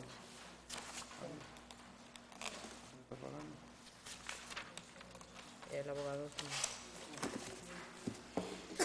Can I get a motion to take document two sixty-four seventeen out of, um, table? So move. Aye. All's in favor, aye. The, um, okay, document two sixty-four seventeen is proposed ordinance to regulate mobile food vendor. Um,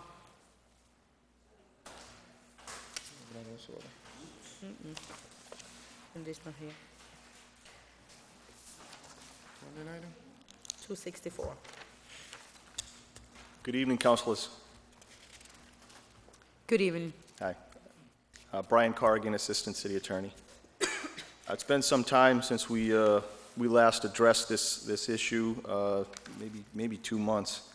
Um, But just to refresh um, uh, council's memory, uh, this is a new uh, proposed ordinance to regulate um, mobile food vendors, uh, also referred to as food trucks.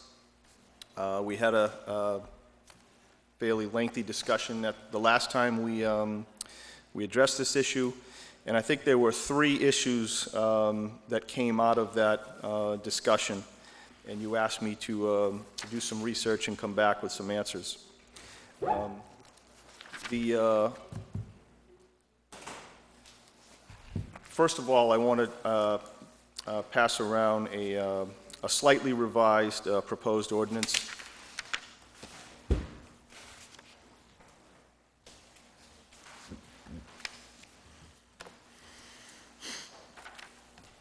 And I've highlighted the uh, revisions on pages uh, four and five. The issue that's addressed with these revisions, I believe, was raised by um, Councilor Rodriguez, and that was whether we need to have a special um, mobile food vendor committee uh, to review uh, appeals and challenges uh, to, you know, uh, adverse action uh, by the city. And so what I've done here basically is I've made that section optional, uh, the establishment of a mobile food vendor committee. You could decide whether you want that or not. The alternative to having a mobile food vendor committee, which would be- would be comprised of of various um, city employees from uh, the Inspectional Services Department, Fire Department, Police, Mayor's Office, uh, City Attorneys, and so forth, is to have appeals come directly to the City Council. So if that's the preference, uh, we could make the simple revision here uh, of deleting that proposed um, uh, section related to the committee, and just have all appeals come directly to the City Council. Um, So that's something you may decide tonight, you may want to send up uh, to, to the full council. I, I leave that to you. Um, Another issue that was raised um, was uh, how, how many food trucks we have currently in existence. I think it was uh, Councilor Maldonado who raised the concern that we may want to have some limits on the number of licenses that we um, are going to issue. So I have another document that I'd like to pass around.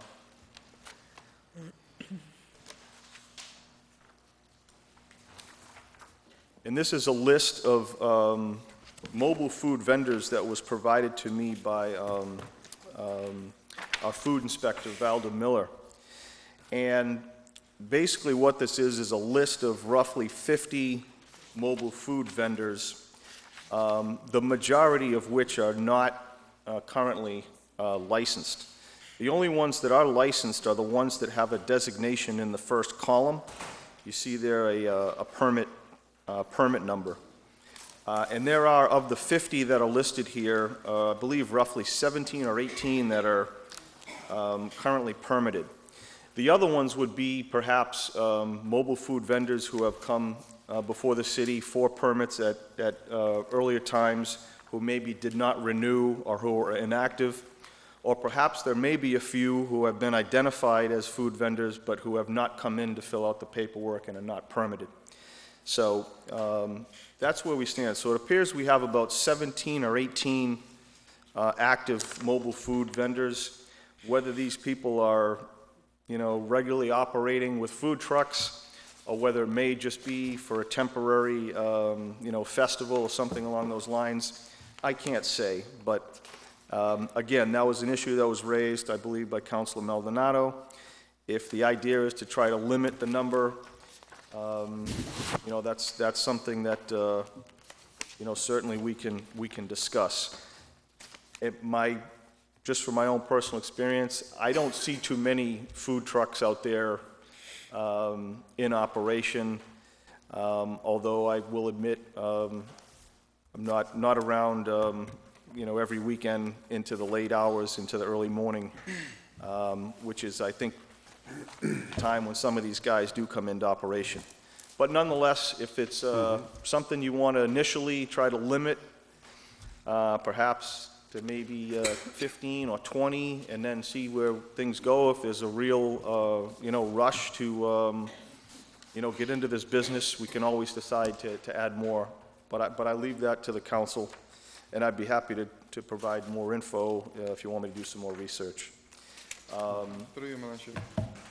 Councilor Rodriguez. Well, thank you for submitting this information. This is a lot of uh, info that we have to uh, review. Uh, I personally um, wasn't expecting this today before I get here, so I definitely gonna have, I would like to read it and go through and see any, uh, compared to the last one, that we, with the current ordinance we have, and see the possible, uh, uh, probably issues or probably benefit that we have from the new, from the new ordinance. Thank you for submitting this, and I'm definitely gonna have to review this. Yes. Okay. Madam Chair? Yes? Um, I believe that we should put some restrictions on the maximum number of, of vendors, mobile vendors, uh, for a number of reasons. Number one, uh, vendors don't pay taxes. I don't believe that they collect the uh, 6.5, 6.5 meal tax, uh, which is a problem for us because we are losing, we are losing additional income. Uh, Number two, they become, uh, they become a, a- a competition uh, for local restaurants in the area who are paying uh, taxes to the city. Uh, So it seems to me that, you know, again, we should restrict the numbers. Uh, I see a lot of them, because obviously they normally are out at night between the hours of eight and probably two or three o'clock in the morning, uh, on the weekends primarily. So, so there, there are a lot, a lot of them. Uh, So definitely, I believe that we should consider uh, restricting the numbers. Uh, To what extent, how many, I don't know, but I think that's something that we should look into. Um, It sounds like a good idea since we're gonna be reviewing the document that has been Mhm, passed on definitely, tonight. That is definitely. something, just to give it a thought. Mhm. Um, no suit yet, just to take it or make any decision. So I think, uh, you know, what we're gonna do is just to table the document and just to kind of digest all that information that has been passed on, and, and thank you for that input. Okay. Um, So motion to table document two So moved. sixty-four, Uh, second? all's in favor? Aye. The ayes have Motion it. to take item, uh, To- yeah, sixty-five I'm gonna go seventeen, there. please. Can I get a motion to take document sixty-five seventeen out of table? Second. All's in favor? Aye. The ayes Oh, you have it. didn't move it? Yeah. That is, that's okay. I thought you moved. I lost the page. 65, 65. I just have it with me. What did I do? What is that? There is a recommendation here. Juniper To Street? you, Madam Chair. Uh, yes, Councilor Rodriguez. Uh, Welcome back, um, Director Hackes. Uh, I can see that in one recommendation, you didn't, uh, you didn't, um, you didn't agree with it, and another recommendation, the revised one, you agree with it because of uh, uh, the fact that it's one-way, um, one-way road. Yeah, I just want to clarify that, um, Councilor. So the initial request that was made, um, when the review process took place, um, we rely on Mass DOT's, Uh, Just refer to the lo- the location that we're talking about. oh, sorry, uh, Juniper Street. Uh, So the request is, um, the request came to my office to make a recommendation um, to whether or not allow alternate parking on Juniper Street. Right now, there is no winter parking allowed on that street right now. The request came to my office to make a recommendation whether favorable or unfavorable uh, to allow alternate parking on Juniper Street. The initial recommendation that went back to City Council dated August 29th recommended not to allow alternate parking. However, that recommendation was based on some flawed information that we had from Mass DOT's database. Um, For some reason, Mass DOT has Juniper Street listed as a two-way, uh, when right now that street is operating as a one-way. Um, So the thresholds uh, for the roadway width that we had established on the memora- initial memorandum for 25 feet, that was taken into consideration, that would have been a two-way road. However, it's- this being a one-way road, the 25-foot clearings on the road should be more than enough to allow alternate parking on both roadways. Um, I do want to point out that my latest memorandum, I did issue a caveat with that, saying that as long as Juniper Street continues to operate as a one-way, this recommendation is valid.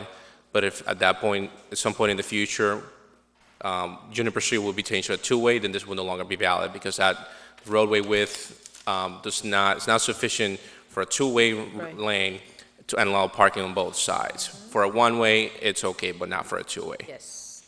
Yeah? All right, uh, currently, uh, during off-winter, there is parking allowed on Juniper, Yes, on one side or both sides? on both sides. Both. Both sides. And There's how no the- restriction for parking on the street during, in, in the off-winter season. So, and how is that, uh, the traffic flow right now? We haven't got any complaints from it. No, no issues? The only complaint that we've received is for the winter parking, but not during the summer, So, and it's 25, 25 feet at its narrowest point, at this, and what about the average point? about 26. 26, center? Yeah. Um, so,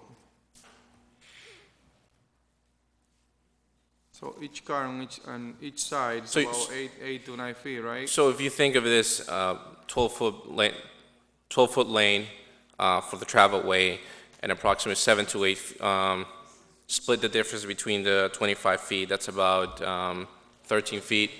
You split that between both sides, it should be more than enough, taking into account that's only one side that's allowed at the same time. So the parking is not allowed on both sides, it's alternate parking allowed. So one night it will be on one side of the road, and the other night will be on the other side of the road. So they'll give you more than enough clearings for us to allow, to clear the roadway dur- during the snow and ice events, and also to allow the safe travel of the public. Yes, Carlos, but I mean, um, understanding the, the current ordinance for the winter ban and the the alternative tra, uh, the alternative parking during the winter, there is a gap between, I believe, between three and eleven, the cars are gonna park on both sides. That is correct. So that's gonna be a tremendous issue with only, with, when you have only twenty-five feet wide road. Uh, and you have cars parking on both sides during the winter because there is a gap on the current ordinance that allow them to, to park on both sides. So the restriction gotta be more strict on that specific, uh, road, if we're gonna allow parking on. on- That is correct. There is a gap in the current winter parking ordinance where um, Concern. winter parking ban is during specific time frames of the day, in this case being between 12 and 8 a.m. and 3 p.m. However, as you probably know, winter storms don't obey any specific time frame, so we could have a storm at 3 or 4 o'clock in the afternoon. Uh, And let me ask a quick question. The, it's, it's between eleven to three PM, but in reality, the ban is between eleven to three, right? Yes, But in between 12 a.m. and 3 p.m. Yes. So, but in reality, it's between twelve AM to six PM, six AM.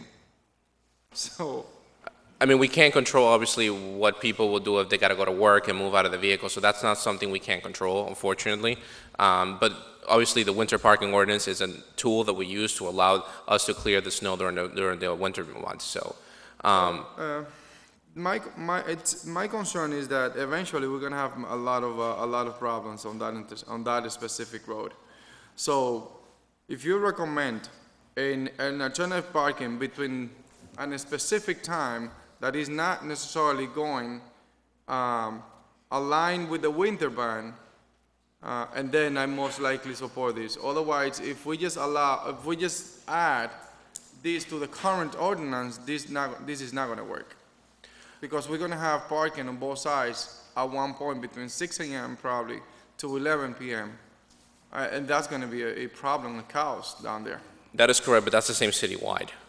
Sun City wise, yes, but we adding this to, we are actually creating a problem if we add this road to that specific ordinance. If we create an ordinance for this road saying perhaps alternative parking between hours that actually work, most likely I will, I, I will, I will support this. Otherwise, it's gonna be like, the current, uh, the current winter ban doesn't work we adding this road with 25 feet narrow, uh, 25 feet wide road, it, we're creating an issue. We're creating a problem. Well, we can definitely add this to an ordinance that we're creating today and probably looking into all the road that might be able to accommodate to the new ordinance.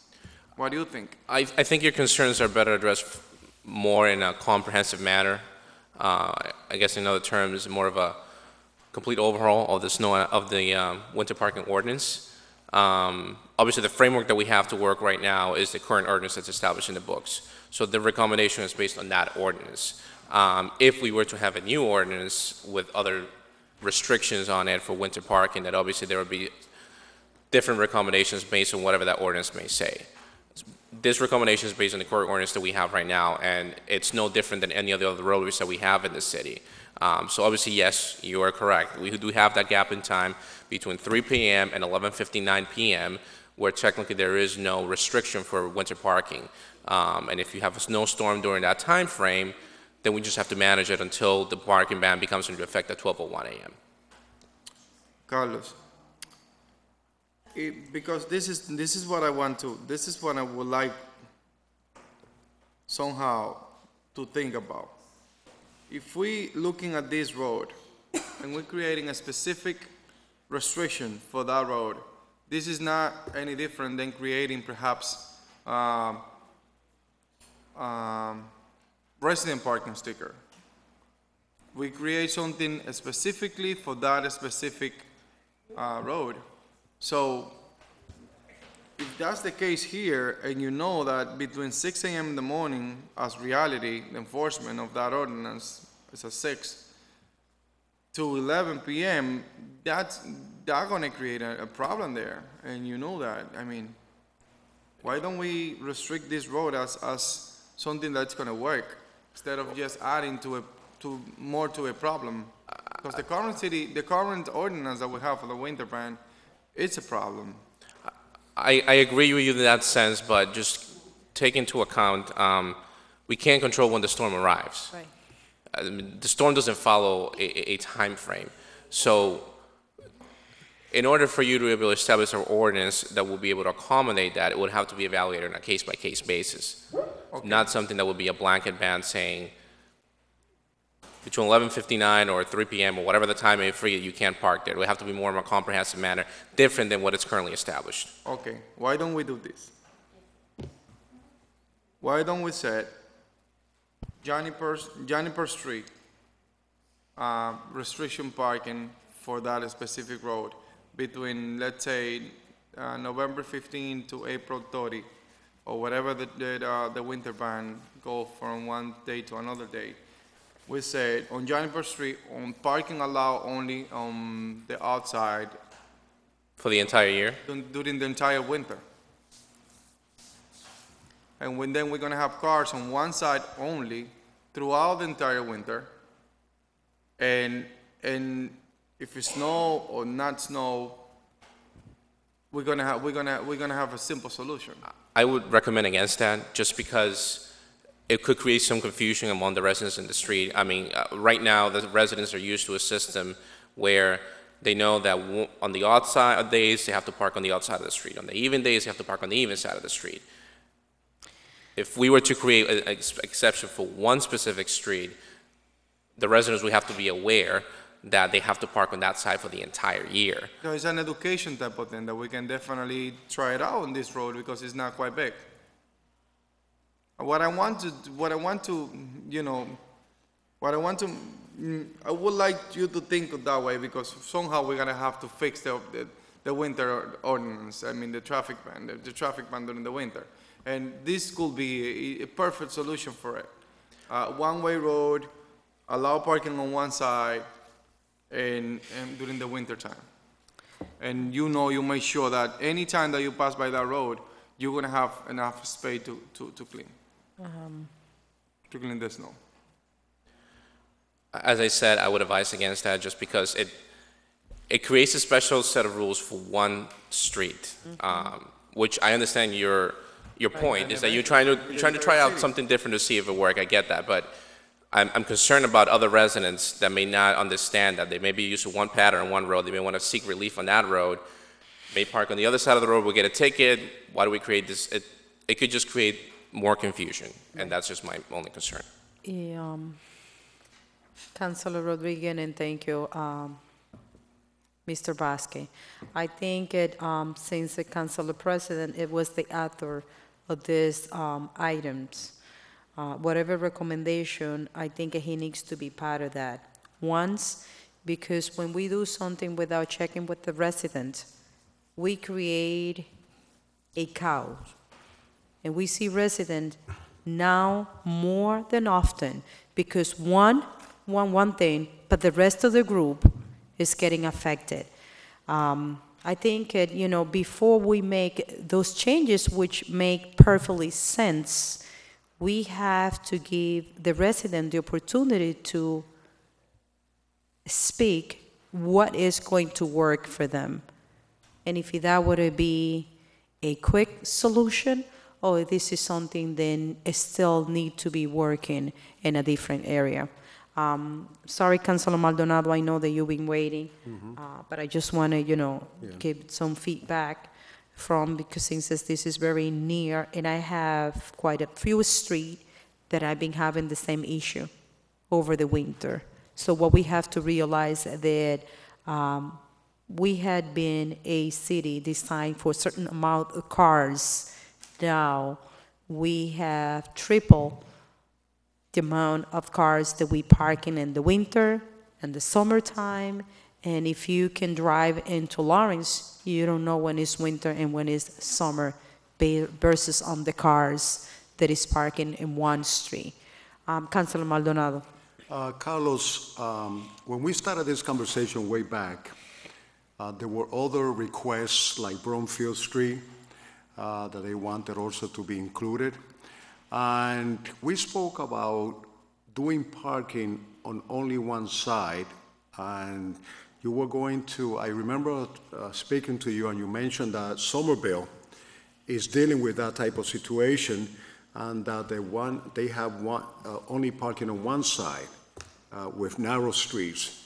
And you were going to get back to us uh, to see how they, they handle the cleaning of the snow on that side where the, the, the cars were parking. because I, I agree with, uh, with uh, Councilor Rodriguez. Uh, If we allowed alternate parking on those narrow streets, it's gonna create a big problem in the winter. Uh, There's gonna be accumulation of snow, and then you're gonna have to uh, spend a great more deal of time cleaning the whole thing and getting the cars out of there. So uh, I I agree with him that, that we, that we should do parking on only one side and then deal with the situation of cleaning that side where they park, how we can probably put notices that are on such, uh, at such times, the cars have to be removed from there so that the city will be able to clean up the snow. So one note on, on the Somerville, um, the way, Somerville actually implemented a change under snow and ice operations for this particular calendar year. Um, in years past, what they used to do is something similar to what Councilor Rodriguez just mentioned, is that if the winter season started on an even year, all the vehicles were to be parked on the even side, uh, for that entire year. Exactly, Um, exactly. This year, they made a slight modification to that, um, where they also included a snow and ice emergency situation, which essentially that said that ban itself will only be in effect when there's a snow emergency established in the city. So, for example, the mayor or somebody will declare a snow emergency in the city, and everybody in the city would have, for example, four hours or three hours to move their vehicles mm-hmm. into the correct side of the road to allow us to perform the clearance, and then lift that a snow emergency possibly maybe 24, 48 hours after the storm, after everything's been cleaned. So for them, it was a slight modification on the processes that they have done before. Um, it worked well for them. Uh, I do think that something that could be explored here in the city. Um, obviously, that would undertake a massive education campaign on behalf of the department and the entire city to educate everybody on that change because that, that is a very drastic change from what we're currently doing right now. Um, people are right now are conditioned that as soon as uh, December 1st hit, they have to follow the alternate parking whether it snows or it doesn't. Uh, now, for you to make a change where this would only be applicable when it snows, obviously, we have to be uh, doing a very good job of outreaching to the residents, reaching out to them, and educating them, and say, listen, there's a snowstorm coming in four hours. You have to get your vehicles out of the way during that time. And that, the advantage of that to the residents is that they are not burdened with undue restrictions while it's not snowing, meaning that this ban um, is only in effect while it's snowing. The rest of the year, if there's no snow in the year, then there is no ban. Exactly, Yes. exactly. Yeah, I, I think we should look very carefully into that, especially not, because there, there are several, we're gonna get all the requests. Again, Bromfield is still waiting for us for an answer, and there are other streets that are waiting for an answer. So it seems to me that if we do what Somerville is doing, uh, we, we're gonna be safe on that. And we can include all the streets that have a limited, uh, width, uh, with the restriction that it will be parking on only one side. Uh, and, uh, and I think that would be better. Through you, Madam Chair. Yes. Councilor Rodriguez. And uh, Carlos, uh, Director Hackers, and the thing is, like, perhaps everybody wants their street to be alternative parking. That's gonna be, that's eventually, but that's what, what- that's what's gonna happen. And, and if we, if we start, you know, allowing, without having a plan in place, allowing street to go into the parking ban without, you know, having in a, a, a- probably a, a second ordinance that, you know, for narrow road, that's gonna become a big issue, because, I mean, currently, everybody wants the street to be an alternative, an alternative parking. But everybody don't understand how the operation of the no removal works. We have to have spaces available, you know, in a specific width available, because there is a snowbank, they're gonna be up there all the time, and we have to have that space available. Otherwise, it can become an issue, or very, or very expensive to the city. Um, that's why I always, um, think about this situation twice before it have my support, because I know how the, the snow and ice removal works. And it could be a challenge for, for any, um, uh, you know, any DPW, de- um, DPW department. So on this, I will definitely would like to see if we can try something new for this road. Perhaps parking on one side, um, the entire year. And, and trust me, people don't like it. Probably they said, you know what? No, I don't want it, but we, we we have to do what's the best for the, for the city and in terms of, you know, the operation of the snow removal. Everybody wants to be parked an alternative way, but nobody wants to kind of like, you know, understand how that work. And eventually, when snow happen, everybody want the street clean. This is like a little, a little contradiction right there. So basically, we have to come up with something new. And like I said, this might be the starting point. It's confusing, probably. That doesn't gonna take more than, a- more than, more than, uh, probably a week or two weeks. Because Okay. it's gonna be the entire year. I mean, it's gonna be the entire winter. On parked on one side, on the outside, and that's it. Simple. So what are we gonna do with the item? I think that we should wait for the, the council president to come over. Since we And, have uh, all that, um, recommendation from the DPW, so a motion to table the document? That's what you Ju- want? Second, uh, ju- no, no, let, let me say something before, uh, Okay. before we table. Um, I have a property on Juniper Street, so I'm uh, very familiar with Juniper. Uh, Parking on both sides makes the street very narrow. Okay, even as it is now, it makes the street very narrow. It's very hard uh, when a car is coming by, go- going through, uh, it's very hard for them to- to go across. Not only that, uh, the uh, the uh, garbage pickup trucks, they have to come down backward against the one-way in order to pick up the garbage on the left-hand side. So, so it is, it is obvious that, that we should not allow the, the two, two-side parking. It should be only one side to, to minimize the problem During the entire winter? during the entire winter, yes, yes. We also can send it with, uh, no recommendation to the full council, and Councilor Vasquez can decide what he want to do at that level. Since uh, we don't need to keep this item in the, in the um, ordinance committee, so we're not waiting for any recommendation. So, you want to Well, send we it? can, we can send it up with, with a recommendation that Yes. parking be, gi- be allowed only on one side during the Right. winter time. Simple. And I will, I will make a motion that we. Okay, motion that- to- that we do that. On what side, based on the year? Based on the year? I would recommend that if we were to pursue that option, we- the signage will have to read, or the ordinance would have to read, um, that the restrictions should be placed depending on the calendar year of when the winter season starts. Meaning essentially, for this year, would be an odd side ban because the winter season starts in 2017 and ends in 2018. Right. Okay, Um, So there is a language that we can use, which is similar to what Somerville uses, and it's a lot more descriptive and clear. Okay, can you send that language for the record? Yes. That way we can adapt it like that?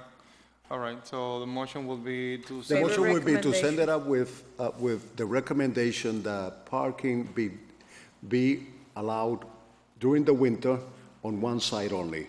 Which side? I think we We're need, gonna- to- we're gonna we, we need to look that. at the situation, how many dry driveways there are. Well, let's, no, no, let's go with the, uh, even, odd or even, depend on the year. But Carlos is gonna be sending the, the, that language. The Oh, language, okay, yeah? okay, yeah, that's fine. Okay, so the motion has been made, properly second, all those in favor? Aye. The ayes have it. Can I get a motion to take document 24817 out of table? Two forty-eight, So move. second? All those in favor? Aye. Aye. The ayes have it. Document 24817, Front Street, no parking request to entering street, and has been put in the agenda by Mayor Dan Rivera and Councilor Abdul, referring to the city engineer in Path 3 and Pedro Torres. Um, Councilor Abdul?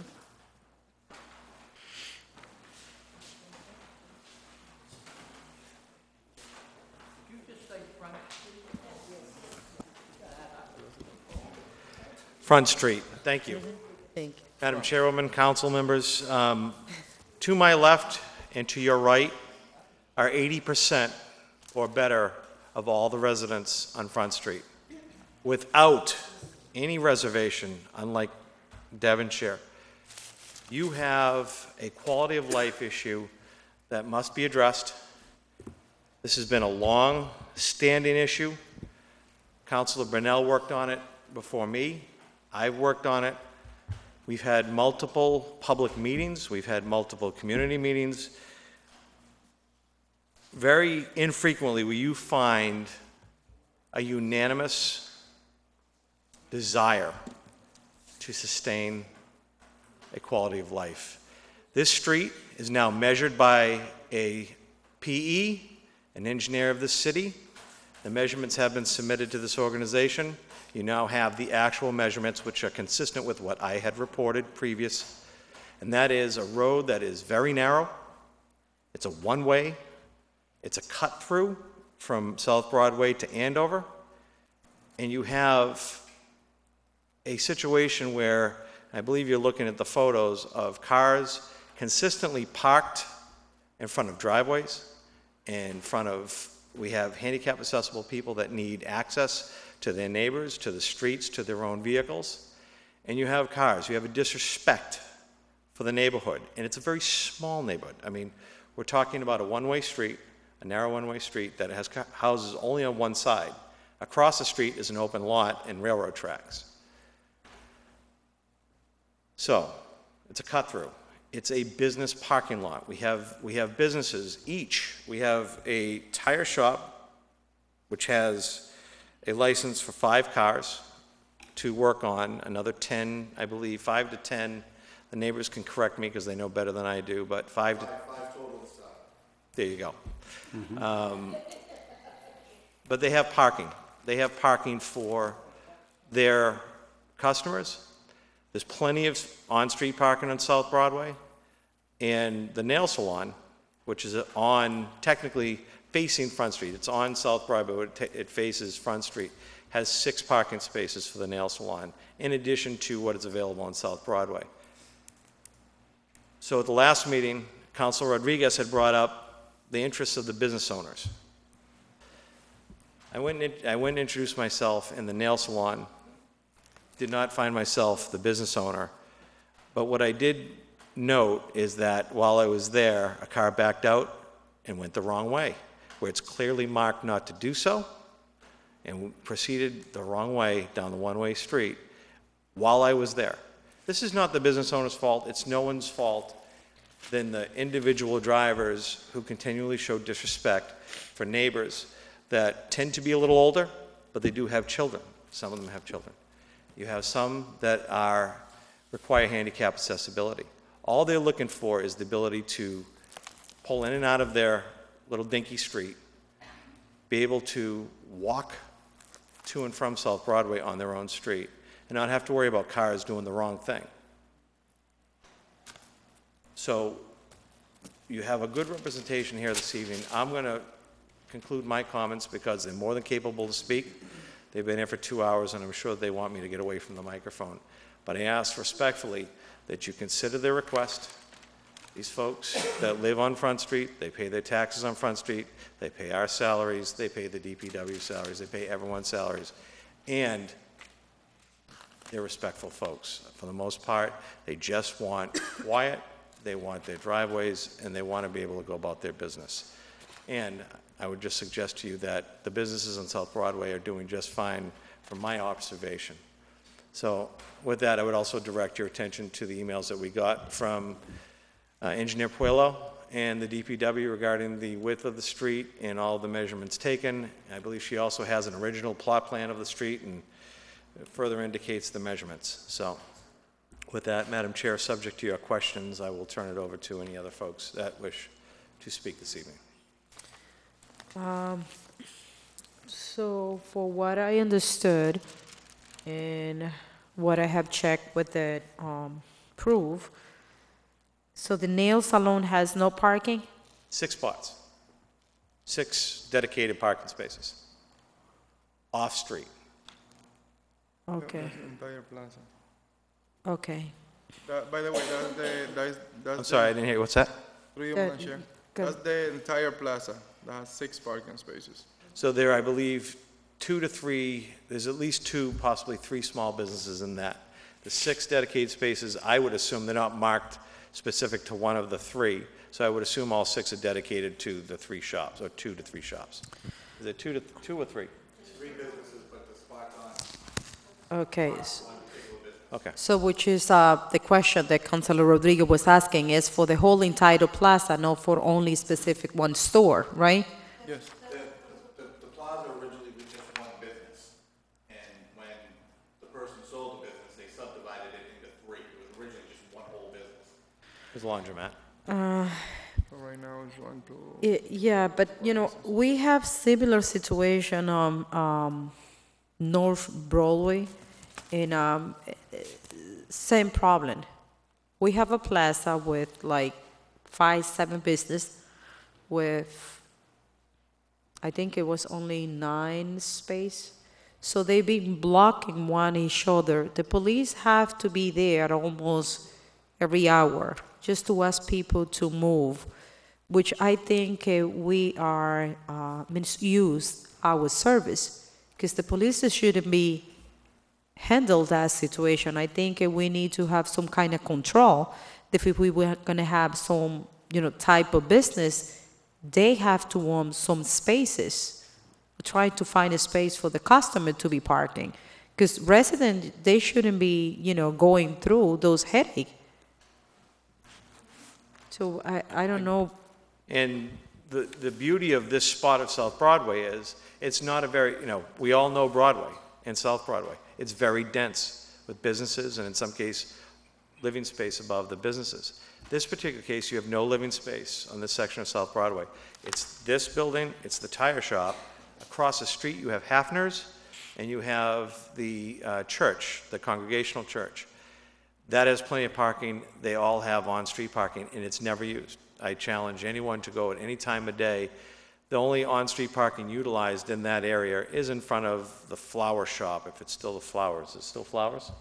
Flowers. And, um, you know, that's a small shop. Thank you, Madam Chair. Councilor Rodriguez. Councilor Abdul, thank you for bringing all this information over, telling, talking to the residents. Um, t- With all the respect to you and to the residents, um, I'm not, I'm, I'm not planning tonight on, on doing anything with these items because I have more insights than just what is here. Um, this is something else. And with all the respect that I have for you, I, I'm not planning on doing it today. I'm not planning on moving this item forward. Uh, there is a lot more than just what is here and what is presented. Well, Council, I think you owe it to us to tell us what that is. I'm the district counselor, I know. and you seem to know something I don't know, so you should share it with all of us. No, I just, um, I don't think this is gonna be the scenario to talk about something that is not related to the item. Um, You see? Um, uh, Okay. If you, if you want to, you know, anyone want to speak, just come forward to the podium. Okay. Okay, yeah, but um, if we can bring the micro,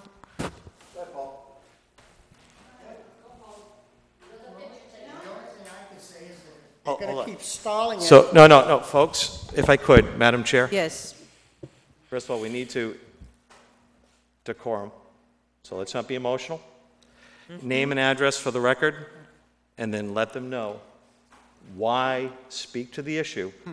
which is the parking, um, which is to the width of the road, and which is to the quality of life for the residents. We're trying to. Thank you very much, and I I. be- understand, I understand. Thank you very much. And w- like Councilor Abdul was saying, this is not only to you, this is being applied to everyone who's come here.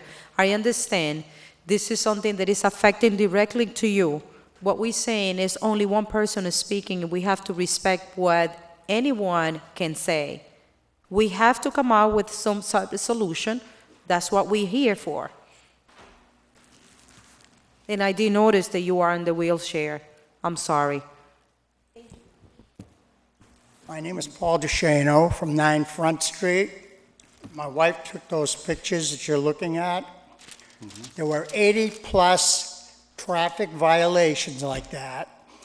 Nobody is doing anything about it. If, the- if we're going to be held up by city council, I'm, I'm ready to send those to CBS I-Team in Boston and the Registry of Motor Vehicles. Okay. So, Madam Chair. yes, Councilor Maldonado. Front Street is a one-way street. Yes. Uh, Coming into, South Broadway to Andover Street. to Andover Street. Okay. Uh, Obviously, from what I can see there, it's very narrow. Yeah. No sidewalk. No, the property line And what goes yours- outside our gate. Mhm. Our property line is actually outside the gates, that, it- because the road itself is narrow. Yeah. And what you are saying is that most of the people who park there and drive against the one-way are mostly customers of the business. From the nail place. The nail place has six parking spaces which are filled by employees all day long. Okay. Okay. So what you are looking for, and, and again, I'm trying to understand, what you're looking for is, are you looking for resident, residence parking only? Yes. Huh? Or prohibited?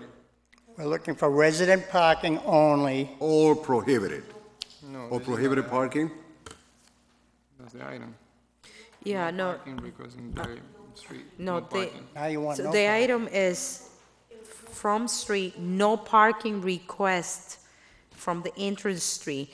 So, which I believe, uh, what they should be, Councilor Abdul, is resident parking only. Is that something that, There is no, uh, excuse me, there is no parking in the winter.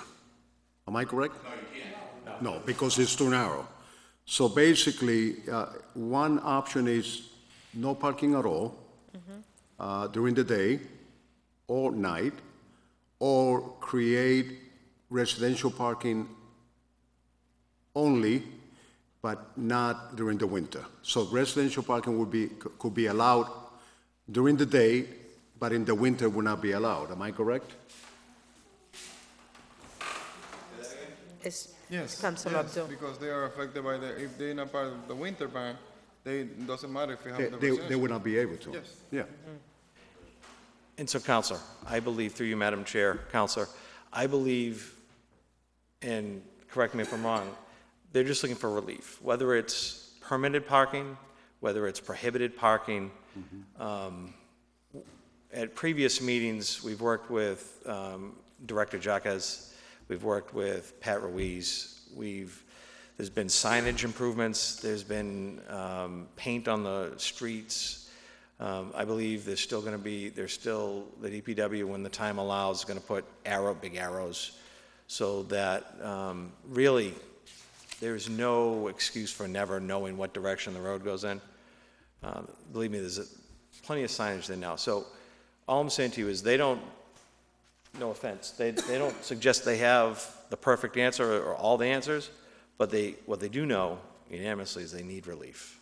And whether it's what you suggested, that it be altered, you know, whether it be modified, I think this is the place to do it Mhm. while they're here, because I know many of them probably wouldn't make a subsequent meeting, or even the final meeting at the full council, whatever recommendation goes forward. So um, I hope that this evening, the dialogue back and forth. I, I believe that we had a similar situation on, what's the name of that street going off uh, Lawrence Street?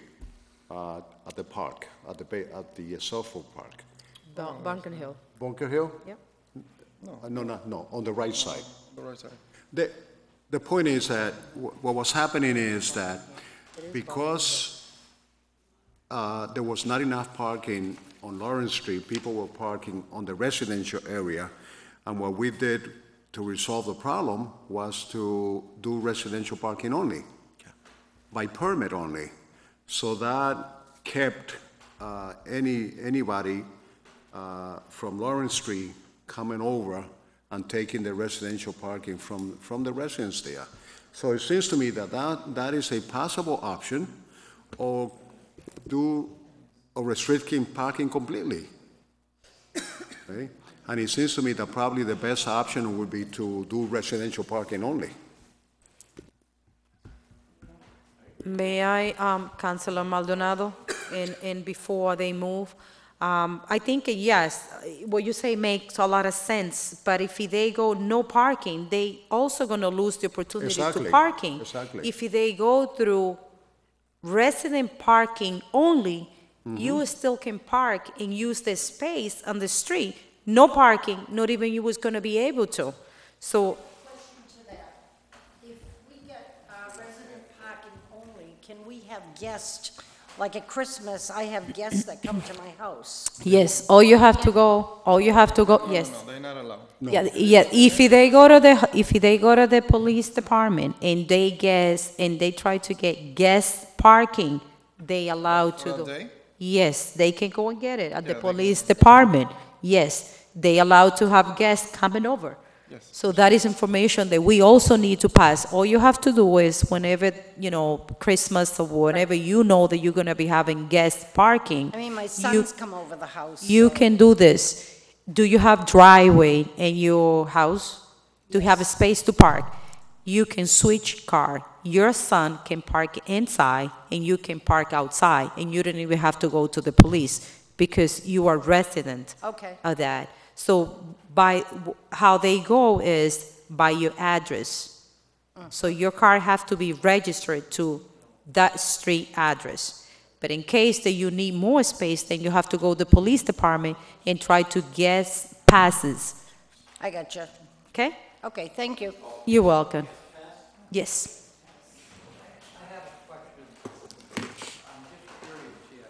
They have, Ed Butler, apartment seven. Um, They have six parking spaces. Sir, I would like to know your name. Ed, yeah, Ed Butler from apartment seven on Front Street. Okay. Roseanne's house. They have six parking spaces, and they're filled almost all the time.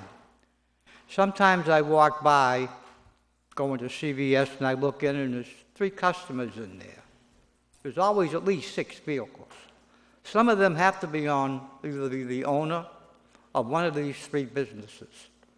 They also have three dumpsters there, one for each one, who are on wheels. They're hanging out on the sidewalk. With a little shove for about 12 feet, they would put them in the alleyway. Now they have seven spaces. This is fine, except in the winter, they're going to lose all of this, because that's where all the snow gets pushed when it, but anyway, six spaces always filled, easy enough to make a seventh, and all of a sudden, you've got cars parking, I'm the first house right off of them. One, hidden by the hedge, which I ignore quite a bit. Then you've got one there, and every house has got one going down the street. My question is, why do they have all these six spaces filled all the time? The candy, the cookie store, there's never one in there. The one in the middle, which is a electronics store, there's usually a couple of people in there. I don't think that's it. So all I'm saying is, there could be seven spaces, there are six. Why are they all filled? When sometimes there's only one or two customers, maybe three. If the owners weren't parking there, and maybe they're not, but if they are, they get home and early enough to park across the street where they don't want their customers to go. Now all of a sudden you've got a space for seven customers. Now I could be completely wrong, but I'm just curious. No one has ever mentioned this. Who's, uh, who these cars belong to? It's just something to, to think about. Again, I think the solution, the best solution, is to put residence parking only. I agree. And- Oh, what? And the residents will go and apply for a parking permit, okay? And that permit, because it's not attached to the car, you can give it to your visitors. No, no, illegal. no, no, They- no, no, no, No, no. not give it to them, but No. lend it to them on that No, particular. no. Illegal. You- No, Okay, no, no, okay. no, no, no, So no, they no. would have to go and get it. No, no, no, They would have to go and get Because a, uh, that car has to be registered in that street address. And if Mm-hmm. they give the permit, what they're gonna do is, when they run the plate, they're gonna find out that car is not belong to the street. So they're gonna get a ticket. What they have to do is they can switch spot They can park it inside of the private driveway, and they can park outside, which is a registered car to the street. So, but I think, like he said, the best solution, and thank you, this is the place for you to come and try to find a solution. And we always want to let you, not only you, but everybody who has some kind of issue, that, that's what we're here for. So at resident parking, it will be the solution, but they have to go through a new items in the agenda, because what we have now, I don't think is going to be beneficial to you. So I don't know if he, Councilor Abdul is agree with that, and all you, so I don't know.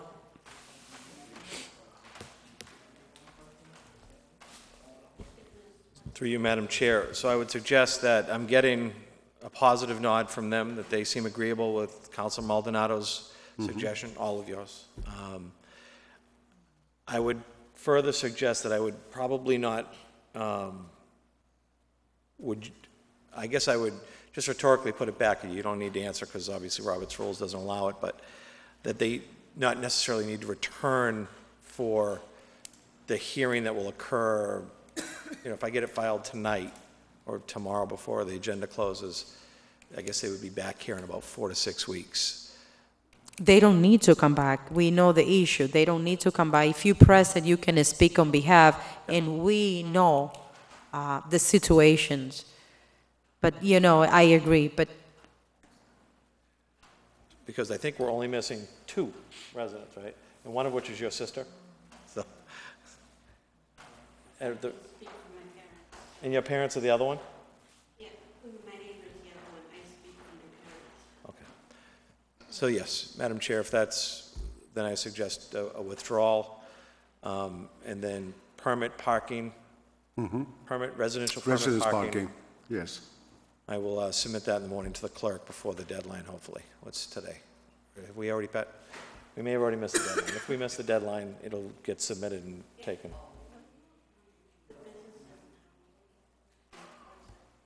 I didn't hear you, I'm sorry.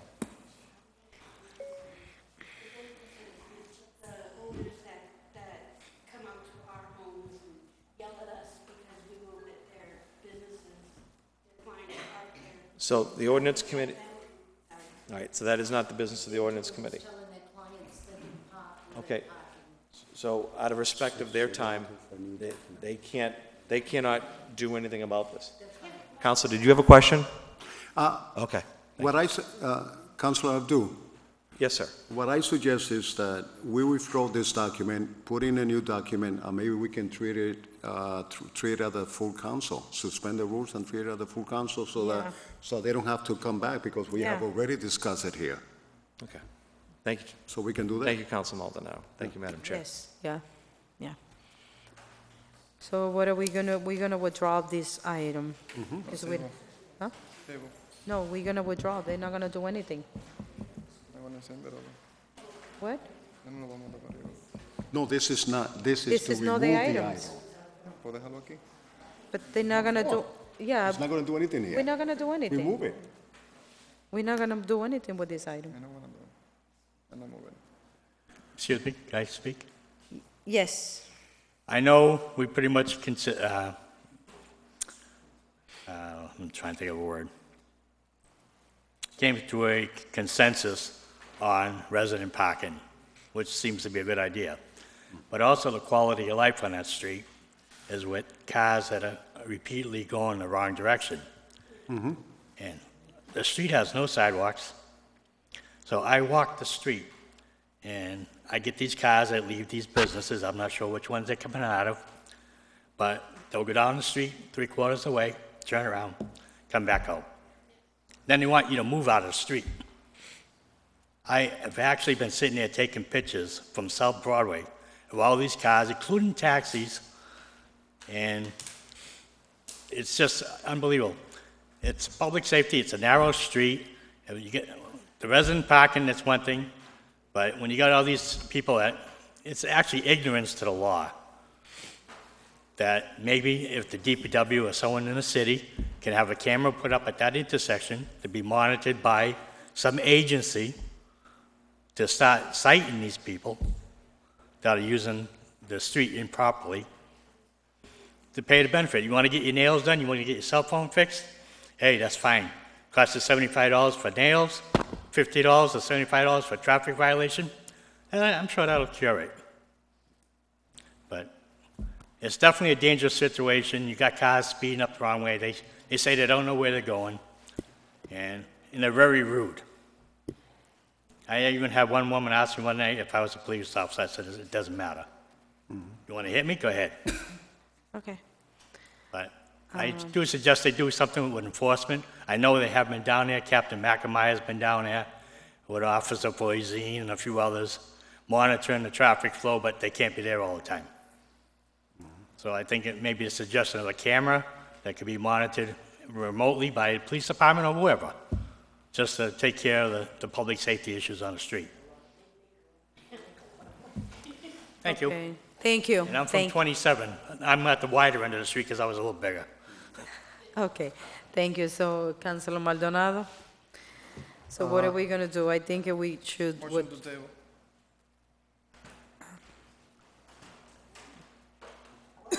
Second. Motion to send it up and to be removed, to be withdrawn. to we That's the withdraw. only, that's the only thing that we can do right now. That we can do, withdraw the document. Withdraw Why the do we have to keep it Simple. here? We're not going to act on it. It's nothing that we're gonna do.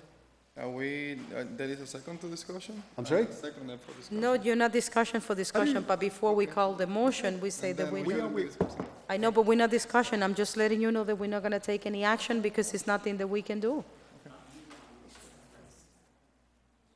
What is the problem with, with withdrawing the document? Yeah. What is the- your objection to that? When the- Once we, once we have the new item here, and then we can withdraw this. But if the, if the document is withdrawn, Right, then another document is submitted, then we will be able to discuss that. exactly. So what is the problem? What is the problem? We, we have no second to discussion, so I won't be able to explain to you. Okay, I second for discussion, go ahead. No, no, no, I'm not, I'm not. No, no, I'm he not doesn't second. wanna No, have a made the dis- motion, I didn't second it. He Okay, didn't I'm- take I'm- the motion. He doesn't And wanna it do is anything. I make the motion, okay, I make the motion that we send it up to be withdrawn. Are you gonna second for discussion? No. Okay, Make the motion to table the item, and then we, we we can, uh, there's no second for that either. But It's no second for that either, and, and we don't need to table the document. We're not gonna take any item. I mean, we're are we not finished gonna. with the meeting today? But if we, if we are going to withdraw the document, tell me what is the purpose of tabling it? Can you, Ali, can you give me a reason? I'm not ready to withdraw the document. I'm sorry? I am not ready to No, but send again, the- I'm asking you to give me a reason why we need to table the document if we are not going to act on it. So tell me what is the, give me a good Once we have the second document here, and then we can withdraw that, this one. Um, You know what? Let me explain. Nothing is gonna happen, so we just have to do what I recommend you to do, just, just to place a new document, and we can open for discussion. Um, Motion to table the document 24817. Motion to table document 248. Make the motion to table, even though it's ridiculous. Um, all's in favor? Aye. The ayes have it. Thank you all for being here and for the waiting time. Thank you. I can, I cannot understand the rationale. Okay. Oh, Do you want this, to- do you want this back? yes, I think they oh, I should. am going to the IT. Can I get a motion to take document two, three twenty-one seventeen out of table? Three twenty-one, they come back with it, um, with the documents that we request. Second. All's in favor? Aye. The ayes have it. Document 321 was a transit rental license. They, ju- we just table until they um, bring the document. Can you give it to, um,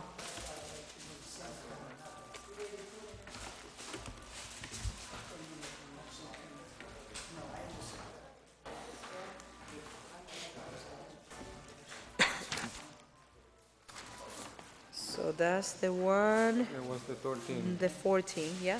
Oh, the 14, ¿Dónde dice que pasó? exactly.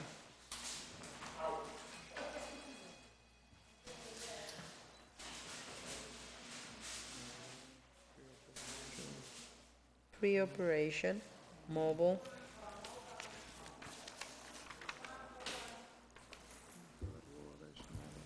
Not on.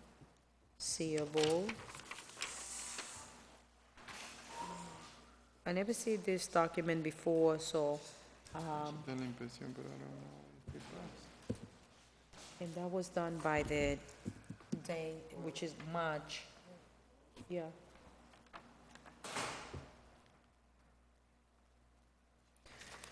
Um, Why don't we um, send. Correspondence to inspection or service to clarify whether or not it is the vehicle is... Can we send the pending that document, that documentation for them not to come back here? So can I get a motion to send document three twenty-one with, uh, no recommendation pending the approval No, pending on- the pending the, clarification the of clarification of the, the inspectional service, which we're gonna ask them to go back and, and kind of bring the documents. So, so that moved. motion include So uh, a recommend, uh, correspondence to inspection service to clarify this document, right? Yeah, yeah. So motion has been made, Properly, uh, second? properly second, all those in favor? Aye. The ayes have it. Tiene que ir al departamento de inspección para que manden un documento o algo que clarifiquen que el, el truck ya está, eh, puede, puede operar, ¿entiende? Porque esto nosotros no, no habíamos visto, no hay algo claro en eso. Eh, me, me enviaron otro, otro documento. Ah, pero Ah. callado, pero... Ok, ese, ok. Pásenos Ok. ese. Ok. Por acá. Pasen todo.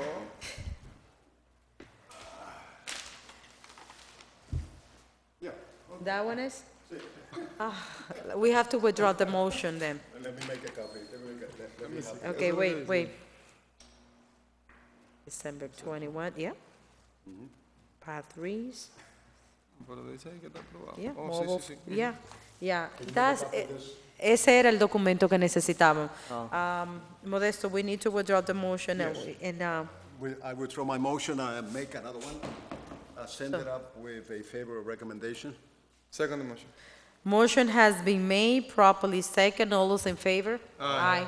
Document 321 was sent out with a favor recommendation. Thank you. Gracias, ese era el documento que necesitábamos. Gracias. Okay. Gracias. Um, okay, Y- are you here for any specific item? Eh, tú tienes que regresar, Oh, yeah, hold on one second. regresar en octubre 3. El martes que viene. Next Tuesday, you need to come back next Tuesday. El martes Okay? 3, ¿ok? Okay. A la misma hora. A la misma horas, yes. Gracias. Okay. Yes, Yes, my name is Jeffrey Petrollo. I live at 341D South Broadway, okay. and this is in reference to 45 sla, uh, 4 What is the 11. document, what is the document number?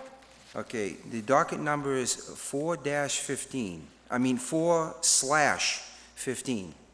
It's in reference to an illegal curb cut and Or- demolition. Before we open a discussion, let's give us some time just to find the document, so that way we can open a discussion, yes. Okay, um, can I, Or, excuse me, Councilor Reyes? yes, Can I go get, uh, here he is right here, because Okay. he, he wants to listen to this. yeah. Councilor Abdul.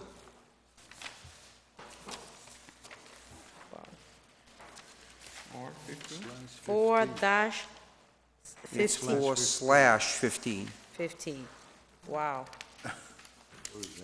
It goes way back. It's, it's been open for two years. Oh, here it is, at the last page. The What one is- from the last. The one from the last? The last page. excavation of sidewalk The last Last- page, The last page is number, the last page. Uh, Page seven. One, of- one oh, yeah. Okay. Can I get a motion to take document four dash fifteen out of table? So move. Second. All those in favor? Aye. The ayes have it. Document four fifteen is illegal curbs cut and demolition, demolition and excavation of the sidewalk abutting on the state highway known as Route twenty-eight, Jeffrey Petrillo. Okay, yes, May I speak? yes, now yes, yeah. Sorry, Um, but we need to find the document before we start speaking of. I understand. Thank you, and thank you for being here. Thank you. You're welcome. Uh, My name is Jeffrey Petrillo, and I've been before the city council numerously. Yeah. Uh, You might recognize me as last week, and I brought up this curb cut, and I said to you that um, back then, in 2014, when I was speaking on this illegal curb cut, that it was a means of opening Pandora's box, and some people laughed at me. And I said, well, you might not laugh at me if Mr. Martineau decides to sell his business, and the new owner says, well, there's a nice curb cut with the rampway that goes right over the sidewalk into an unpermitted vacant city lot zoned residentially.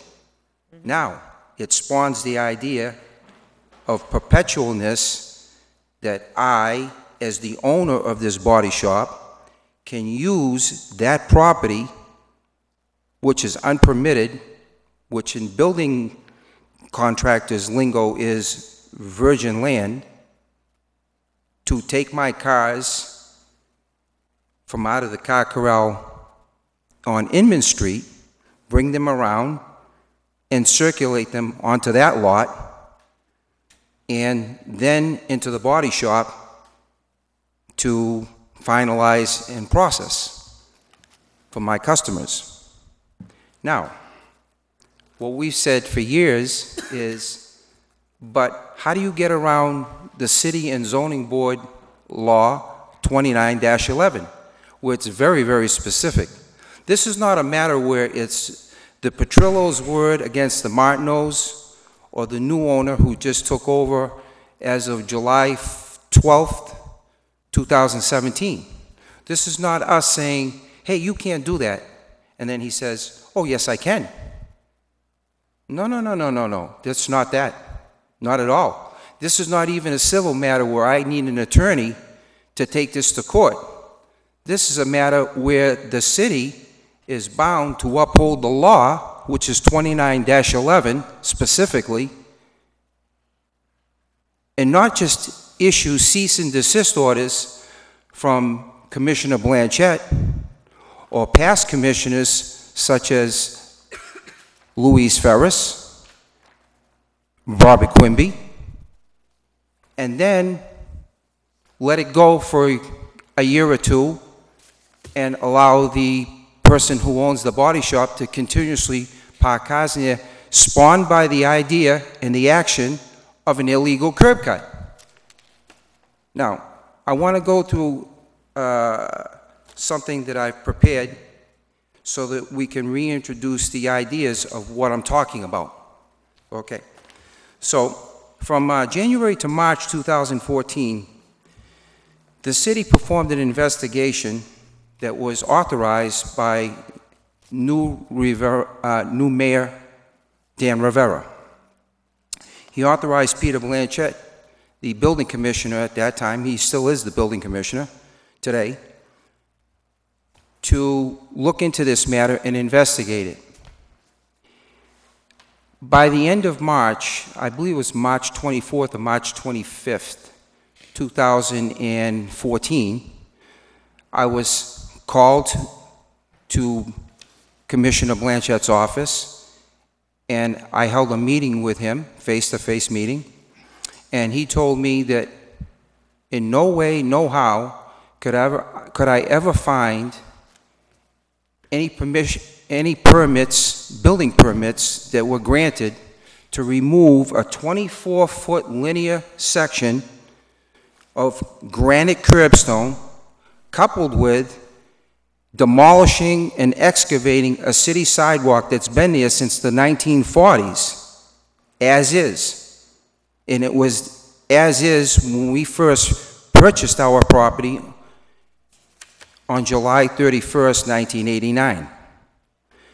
Now, in 2005, October of 2005, this action of an illegal curb cut and demolishing a city sidewalk in order to build a rampway over and above the city sidewalk as an easement to get into an unpermitted property, which myself, coming from a family of builders, uh, begun by my uncle, Thomas Petrollo, and it's, it's continued today by my cousin, his son, Kevin, we find that ludicrous because these are not the actions that are taken, uh, the process of actions that are taken. In other words, what I'm saying to you is this. If I had an unpermitted lot, I don't go to Commissioner Blanchette and say, hey, is it okay if I put a fence to surround the, the lot? And by the way, I want to perform a curb cut first. Those are not the, that's not the process that you go through. And I believe Commissioner Blanchette knows this. So, let me continue. We sought the city to sign a prepared document for over the next nine months. That was up until January of 2015. They would not do that. We then introduced a document citing the Freedom of Information Act to receive specific documents, and the city said no, including Attorney Boddy. We were never given specific reasons why. All I know is I kept trying to get these documents, and I said, listen, you, you're not providing me public information documents, like cease and desist orders that were issued against that specific piece of property. It's also known as parcel number two. It's a residentially zoned, unpermitted lot, and it's been unpermitted since the 1940s. Next, we then left the case open to the ordinance committee. At that time, we wanted certain specific documents to buttress other documents that we already had as what I would call empirical proof. The city said no and left this case in limbo for the last two years.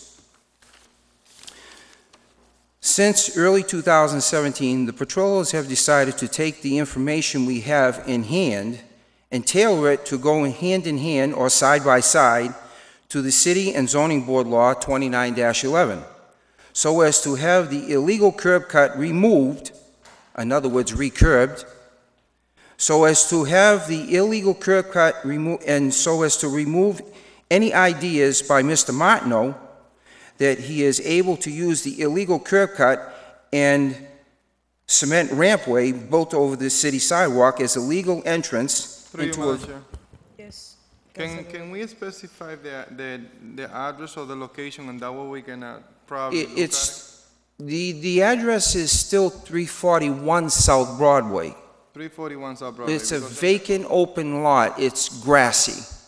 But because, um, the reason I'm asking is because over here doesn't provide us with an address, so we're just talking about something, but. Okay. You know what I mean? The- So what's the Okay, address? if, are you familiar with South Broadway, sir? So what's the address? Three It's what? 341 341, South Broadway. okay. Okay. It's not here on the other, on the It- island, that's. It's the location of the then, for 40 years, uh, No, I'm saying on the island four fifteen, Uh-huh. doesn't say, it doesn't state the address. So when we start talking, talking about one specific situation, I don't know what, what was the spe- the si- I location understand that could be a problem. Thank you. Okay. Okay, so, uh, continuing, um, I believe I was at the point where I said that we were going, we have decided to take the information we have hand, in hand, and tailor it to, he- to go hand in hand or side by side to city law, city and zoning board law 29-11, so as to have this illegal curb cut removed, in, in other words, recurbed, so as to remove any ideas by Mr. Martineau that he is able to use the illegal curb cut and cement rampway built over the city sidewalk as a legal entrance into a vacant, unpermitted residentially zoned lot, parcel number two, that he's uh, that he's using for really mixed use. It's incongruent with 29-11 as well. Um, And we said also that um, parcel two is now owned by Mr. Angelo Memolo of a and M Auto Body as of July 12, 2017. We don't, we don't approve of any owner or new owner calculating that we have an inherited and illegal curb cut as a means of entering parcel number two, which that lot is deemed as on the map, facing South Broadway, so as to park and store cars uh, on this unpermitted residentially zoned lot known as parcel number two, for reasons such as, I was told I could park cars on that lot by the inspectors. Incidentally, this story was verified on August 28, 2017, with Pat Ruiz, who told me, on no uncertain terms, I told the new owners and their attorneys that he could not use that land to park or store cars as a part of their daily auto body operations. So now we have an incongruent story, where one party says one thing and Pat Ruiz says another. So, um, for your information, this is also against or incongruent to City and Zoning Board Law 29-11. If time allowed, we we would like to get into what former building commissioners had to say with erecting any fences versus granting fence permits. Uh, We would also like to cite other city and zoning laws that prohibit commercial business, businesses from infringing on residentially zoned properties and enforcing the law that states you require 200 linear feet of distance as approaching our, you know, lot line and nearest wall from our neighbor's auto body building. Five, we would also like to remind our neighbor using the illegal curb cut that his building was not, um, using the, uh, the illegal curb cut, that his building was built around 1939 to 1940 and is not coded as explosion-proof, and neither are the cars he wants to park and store incongruent with 29-11 on parcel number two.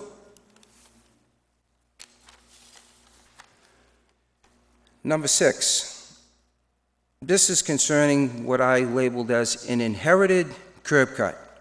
We want to ask the city, how does anybody purchasing an auto body commercial business adopt the idea that he can inherit, as in being grandfathered by the city to use an illegal easement into the property known as the vacant unpermitted lot known as parcel number two in order to park and store cars, which again is incongruent to 29-11. And furthermore, speaking of grandfathered, that's usually when you take the former business name. He elected not to do that. He kept his own name, which I understand has been since 1966. So Metropolitan Auto Body is no more. So I think that this was part of uh, due diligence on his attorney's parts to verify and check into that, you know, what he's grandfathered in. But I'm also certain that he would have never paid the amount of money that he paid for that business had he not been assured that he would be, at least be able to use the commercial, commercial business zone areas, which is the building and the car corral, which is on Inman Street, right behind the building. We're not, we're not contesting that. Madam Chair, Yes. I I need to ask you, I need to ask you some questions. Sure. You're indicating, number one, that the lot behind the business is a residential. Am I correct? No, the lot behind the business is zone commercial and business. It goes with the building. Now, the lot that's in Hold- hold it, hold it, between hold it, hold it, the hold it, building, hold it. Uh, okay, Gi- gi- gi- Give me a second so that I can understand. okay, You spoke about a driveway that was cut illegally, It's an into a curb property cut. that is residential. Now, there's a slope into the business. So what are they, what are they using that piece of property for right now? What are they using it for? Because they, there's no, That, that open I can't piece, see a way that they can drive down and, and there is no overhead doors or anything like that for that business, so. what do you, I, I'm not sure exactly what you're referring Let to. me, uh, ca- can, can you, can we see that picture again, uh, Mr. Rodriguez? I was the one show you. There, there is no slope going from the vacant lot down into the car corral on Inman Street. There's a fence. The first one, wait. Sorry. There is a fence, sir, there's a drop about 20 feet. That's what, I'm- that's what I'm saying. So if, if an illegal, Yes. let me show you this. I'm sure, I'm sure what you're saying, but.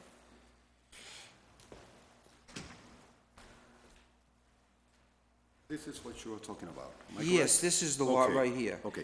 What are they using, this is residential? That's residential. Okay. You can't use that mixed use, Okay. twenty-nine Okay, eleven, I understand that. What are they using it for right now? to store and park cars Okay? as daily Which operation. is, a- which is an illegal use? Correct. Okay. And The problem, and I'm getting, I'm gonna get to this right now. because, so, so they only park here, and these are the businesses here? No, this is not a business. No. This is the business right here. This is the building right here. Right here. Thi- That's- This is the body shop, This is three forty-one and this is three forty-one also. but this is residential. How can there be 341 and 341? I don't know, but that's the way it's labeled on the map, unless, unless I can be corrected otherwise, because my, Is my, it, is it possible that they, if you go that they like got a this. zoning change on this lot? That there's- is no longer No, no, this residential? law has been in effect since August of nineteen forty-three and still presently is in effect. I checked it out with Dan McCarthy of the zoning board. He just, uh, Mo- m- Mr. Maldonado just brought up a very important point. Yes. He, he asked me about the zoning board law 29-11. He asked me if it's still in effect. One of the first things I did was I went to Dan McCarthy of the zoning board a few weeks ago. I asked him very pertinent questions. First question I asked him was, I know all about 29-11. It was the very law that Louise Ferris and Bob Quimby used to refuse any type of permits, fence permits, building permits, uh, whether Paul Senior wanted to go on top of the auto body, the building itself, she said no. And it was also turned down by the zoning board. This is going back as far as like 1967 to the, to the early 70s, through the 80s. And it was finalized with perhaps, uh, as my understanding goes, uh, with Paul Senior's attempt to put a fence around the yard. And she told him, no, I'm not going to give you a permit for that because I know what you want to do. You want to then ask me for a car storage permit, also known as a car corral, and I'm not going to do that. What is it that you're looking for? Yes. Be, be, be specific. Wh- What is you're looking for? Okay. We had said this before. If you had, not you, the city, had taken our advice and as an advisement, if you know, and it's already been proven that the curb cut was done illegally, mm-hmm. right? Then why don't you do something about it? You wouldn't allow someone to do that directly in front of your home. Of course not. It also spawns the idea that any other resident in the neighborhood could say, hey, when the city workers are not working on Saturday and Sunday, I'll bring in a construction crew with the diamond cut saw, and I'll remove a section of Okay. Let, let, let So me you try know, to- see where I'm going with this. Let me try to simplify things. What you are looking for is, number one, to stop the illegal use of the lot, number Well, one. it's, it's Number spawned by the curb cut, and I can, Okay, I can, Hold it, hold it. okay. So you are looking, I assume that you're looking for two things. Number one, to, for the city to tell the owner of the business to restore the sidewalk as it was before. But see, he's not gonna do that because No, he no, didn't no, do no, it. No, no, wait, wait, wait a second. The- uh, uh, Again, I'm trying to understand what you're looking for. Okay. Okay? So you are looking for the sidewalk to be restored as it was before, before it was cut illegally. So that it Number one. eliminates the ideas Number of one. using the property Okay. illegally. And number two, to stop the illegal use of the property for commercial use when it's a residential use. Am I correct? Point of. Correct. You pretty Point much- of information. So Maldonado, uh, I'm- what I'm seeing here, that the curb cut probably is not the issue, because the curb cut, um, so people can, is the, is the users of the land that is the problem, because if it is residential and the curb cut, the purpose of the curb cut uh, is to use it for residential purpose, that won't be a problem. But you can't do that. Except if it was done illegally. Except if it was done. It's done legally. Exactly. And you can't do that, by the way, what you just suggested, because there's a process that you have to go through, through the zoning board, as well as the Department of Inspectional Services. You can't just, first of all, with regard to curb cuts, it's very specific. Anything 72 inches or greater requires a permit. It's in black and white. You cannot do that, let alone go 24 feet. Okay, so basically what you're looking for, you're looking for two things. That the uh, sidewalk be restored to what it used to be, and that the uh, lot is used legally. If it's used legally, then he has to start all over again with his, in other words, Exactly, ex- exactly. So, uh, my suggestion, my, uh, because we can spend the whole night here. Yes. And there's a lot of items that we need to discuss. My suggestion is that we ask uh, Pat Ruiz to come at the next meeting. At the next So that meeting. we can look at this whole situation.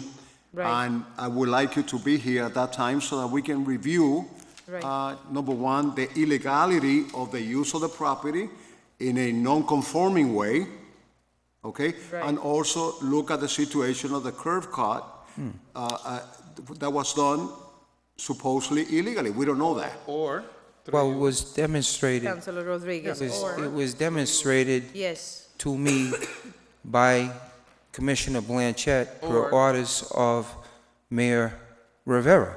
or through you, changing the zoning of the land, Exactly. and then everything is legal. Yes. That's, that's Exactly. never gonna happen because it would require a special Okay, permit. but yeah, like they say, we just need to ask, or invite it, um, Let's Inspector get Pat Ruiz, Lewis here.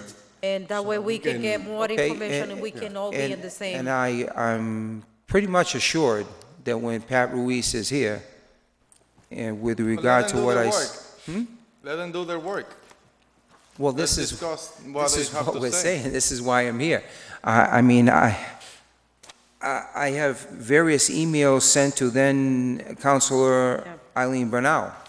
There's mm-hmm. also other issues involved in here concerning the cur- illegal curb cut and then the usage of this property. So Maldonado, It you it have is, one? it is a so- quality of life issue, it's a privacy issue, it's a, it's an issue that you could say that there was a legal precedent already set back in Motion to pass 1989. 10. Mm-hmm. So move. Second. All those in favor? Aye. Again, I'm going to make a motion that we invite either Pat Ruiz or uh, Mr. Blanchette, who has been there longer, or both. Yes. We're going to invite them both to be here so that we can discuss in more details and see what we can do to correct the problem. Right. Okay? Okay, I- so I- motion is to, um, the To, motion? to, the motion is to invite Pat Ruiz and Peter Blanchette to come here to uh, discuss this issue and what, and how we can find resolution to this problem. Okay, motion. That- That's the All those motion. in favor? Aye. Aye. Motion to Thank table you. document. So we're going to continue in this favor? when? For the next meeting. Yeah, for the m- next The meeting. next meeting, which is Or, going, or when they're ready, because Or I when mean, they they need, need- when they need time. Yes. Excuse me? Or when they're ready. So we are going to invite them to the next meeting. If they, if they are able to send come, you will know. Yes. So, uh, they're gonna send correspondent to you when you need to come back. If they're ready to be here, at the next city, I mean, next ordinance meeting, you're gonna be notified that you need to be present. Okay. So, um, let me table the document before, can I get a motion to table document four So moved. fifteen? Second. Those in favor? Aye. The ayes have it. I just want to know, say this, you know, for the record. Um, I feel kind of bad for the new owner because in the way he spoke to me, I believe he's sincere. Um, and I asked him one very pertinent question regarding this parcel number two, you know, unpermitted vacant lot that you showed me the picture to, for, uh, on Google Maps. And when I, when he was done explaining to me, I said to him, who said to you that you can use this lot to park cars? And, you know, as going about your business. And he also kind of coupled that with, if he got my permission. In other words, the Petrillo's permission. I, I believe what he, what he was referencing was something that he was told by Paul Jr. in the course of uh, salesmanship of selling his body shop to the- the new owner, Mr. Memolo. And I allowed him to speak in his entirety, and after I got the gist of what he was saying, I asked him, who told you that you could do this? Because in the back of my mind, I, I already know that this cease and desist order is already Probably the person who sold it to him. and, and exactly, and he did mention the Realtor. Yeah, yeah. And Misinformation. so now, so now it's a matter of, what I told him was, you know, uh, I feel kind of bad because your attorneys, that you told me you had, two or three attorneys, didn't do what's called due diligence. That's, that's on their part. They represent you. So now we have a situation, and I, and I felt bad that I had to tell them that there's an existing law, 29-11, which you're gonna stub your toe on every, every which way you turn. Left, right, down the center, you're gonna run into 29-11, which prohibits you from doing this. And sooner or later, they're gonna tell you, if you don't wanna listen to us with the cease and desist orders, then we're gonna proceed with fines. And if you don't wanna listen to us then, we're gonna come with the tow trucks. Sheehan's, Valley Towing, Cody's, and we'll remove the cars at your expense. Okay, Thank thank you. Thank you. Thank you. Um, Councilor, can I get a motion to take document 27917 out of table? Uh, Actually, I can take it as a block, and we can read um, all the, can I get a motion to take document 279, 280, 281, 293, and 297 as a block and add it um, out of table? So move. Second. All those in favor? Aye. The ayes have it. Okay, uh, let's just read through the uh, May I, offices. Madam Yeah. Chair, may I read the uh, recommendation uh, for each one of the documents uh, as we approve it to uh, speed up the process? We can, yeah, you sure, you can. Okay. So he recommended the first one. So motion to send, uh, to document two seventy-nine seventeen to order public hearing? Second, Those in favor? Aye. The ayes have it. 280? 279. Okay, hold on, hold on. You want me to repeat all the documents? Just the motion. Oh, the motion is to send a, fa- with favor recommendation to order a public hearing. That's just for two seventy-nine. 279. 279 and Yes. 280. Now, two eighty, uh, can I send, get a motion to, oh, well, I would like to make a motion to send, uh, document two eighty seventeen, uh, to order public hearing? Second, All those in favor? Aye. The Aye. ayes have it. 281, also. I'm It's assuming already uh, Already handy. one- It's already one there. It's already one there, so we don't have to take any action on that one. but Can we, Withdraw the document. can we withdraw the motion? Because, We done the document? Yeah. so, motion to withdraw uh, 281? So Send it move. To withdraw. So move. Oh, Is anyone responding to the auto? um, Apply and say that it's one there? if they already have one spot, I think, uh, yeah, yeah, you know, we can leave it Maybe table. and two we different can- people. Yeah, we can ask them to come and we can explain that they can Well, we can also send it over for We can withdrawal send and it. send correspondence to the Yes. owners. And explain that they, if he is one, they can use, uh, the spot. So Okay, send uh, to the full council for withdrawal.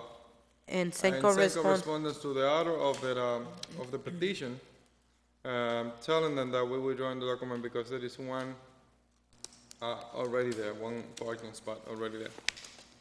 okay. Madam Chair, on document 29317, I would like, uh, I want to Yeah, make he, the he motion that, needs w- more information. that we need, we need to send correspondence to Sarah Perez to get in touch with Officer Scanlon so that he can understand what the concerns are. And we can What is table. motion? Yes. Uh-huh. Second, All's in favor? aye. Doc- Motion to table the document? Second, All's in favor? Aye. The ayes have it. Document two ninety-seven also is, uh, yeah, a handicap, and he, uh, he so approved that. motion to send to the full council to order public hearing two ninety-seven seventeen. Second? All's in favor? Aye. Aye. The ayes have it. The next document is, uh, can I get a motion to take document two eighteen and two nineteen as a, as a block and as a table item? So move? Second, All's in favor? Aye. The ayes have it. Two eighteen, so set, motion to send it to the full council to order a public hearing. Second? all's in favor? Aye. Aye. Ayes have it. And two nineteen, what he said that we need to refer this document to DPW, which we had. So can I get a motion to send correspondent to DPW just for update about this item? So move? Second, All's in favor? aye. Aye. As- Can I get a motion to table document Hey, two move. eighteen? To table the document, So move? Second, all's in favor? Aye. Yes. Can I get a motion to take one fifty-eight out of table? so, so move. Second? All's in favor? Aye. The ayes have it. Okay, he is request a fifteen parking street, the request. Yeah, there is a problem with this. Uh, The, the actual request is not on Lawrence Street, it's on the, uh, is on, on the other street that is perpendicular to Lau- to Lawrence Street. So, One of those- So I need to, I need to get the, uh, the actual address. address for that. Provided to Scanlon? Yes, yes, uh, yes, let, let let me, let me do that, okay? Okay, so So table, motion to table one Yes. fifty-eight seventeen. Second, and the last document is, motion motion to table has been second. and second. All's in favor? Aye. The ayes have it. Document one twenty-two seventeen out of table. Second, out of table, second motion. Second, All's in favor? aye. The ayes have it. Okay, he's, Motion to send it to the full council to order public hearing. Second, all's in favor? aye. The ayes have it. Any other we have- document? Yes, we have this one right here, Okay, Which one is that? which one? uh, forty eleven sixteen. Four, what is that? Oh, that's right. Four eleven. Four eleven. Sixteen. Four, eleven, sixteen. Which page is that one? It's inside the folder, it's right here, Inside the folder. it's right here. So, I don't know. But I don't see it in the agenda. Request is for alternate parking on Young Avenue, the width of the street is twenty-five feet. This is the same s- type of situation. Yeah, as, but on uh, this one, as uh, on the other one, no, the, the other one was one way. This thing is not Oh, one. this is not a one-way, Mhm. That's why he changed his recommendation to, so we need. to allow it. Yeah. But I mean, we're not, uh, we're not, on the other one, We're not allowing it yet. We gotta No, no, we are not, no. Solution for it. So, uh, do we need to take it out of the table? Uh, do we have it on the, on the agenda? That's the what thing. I, that's the thing. I don't see that document in the Page agenda. three, four eleven sixteen, Page three? towards the end of the page. Yes, it's right here. look. December sixth. So, uh, motion to take item eleven, um, Four eleven. four eleven sixteen out of the table. Second, All those in favor? Aye. aye. Ayes have it. So, motion to send this item to the full council with no recommendation.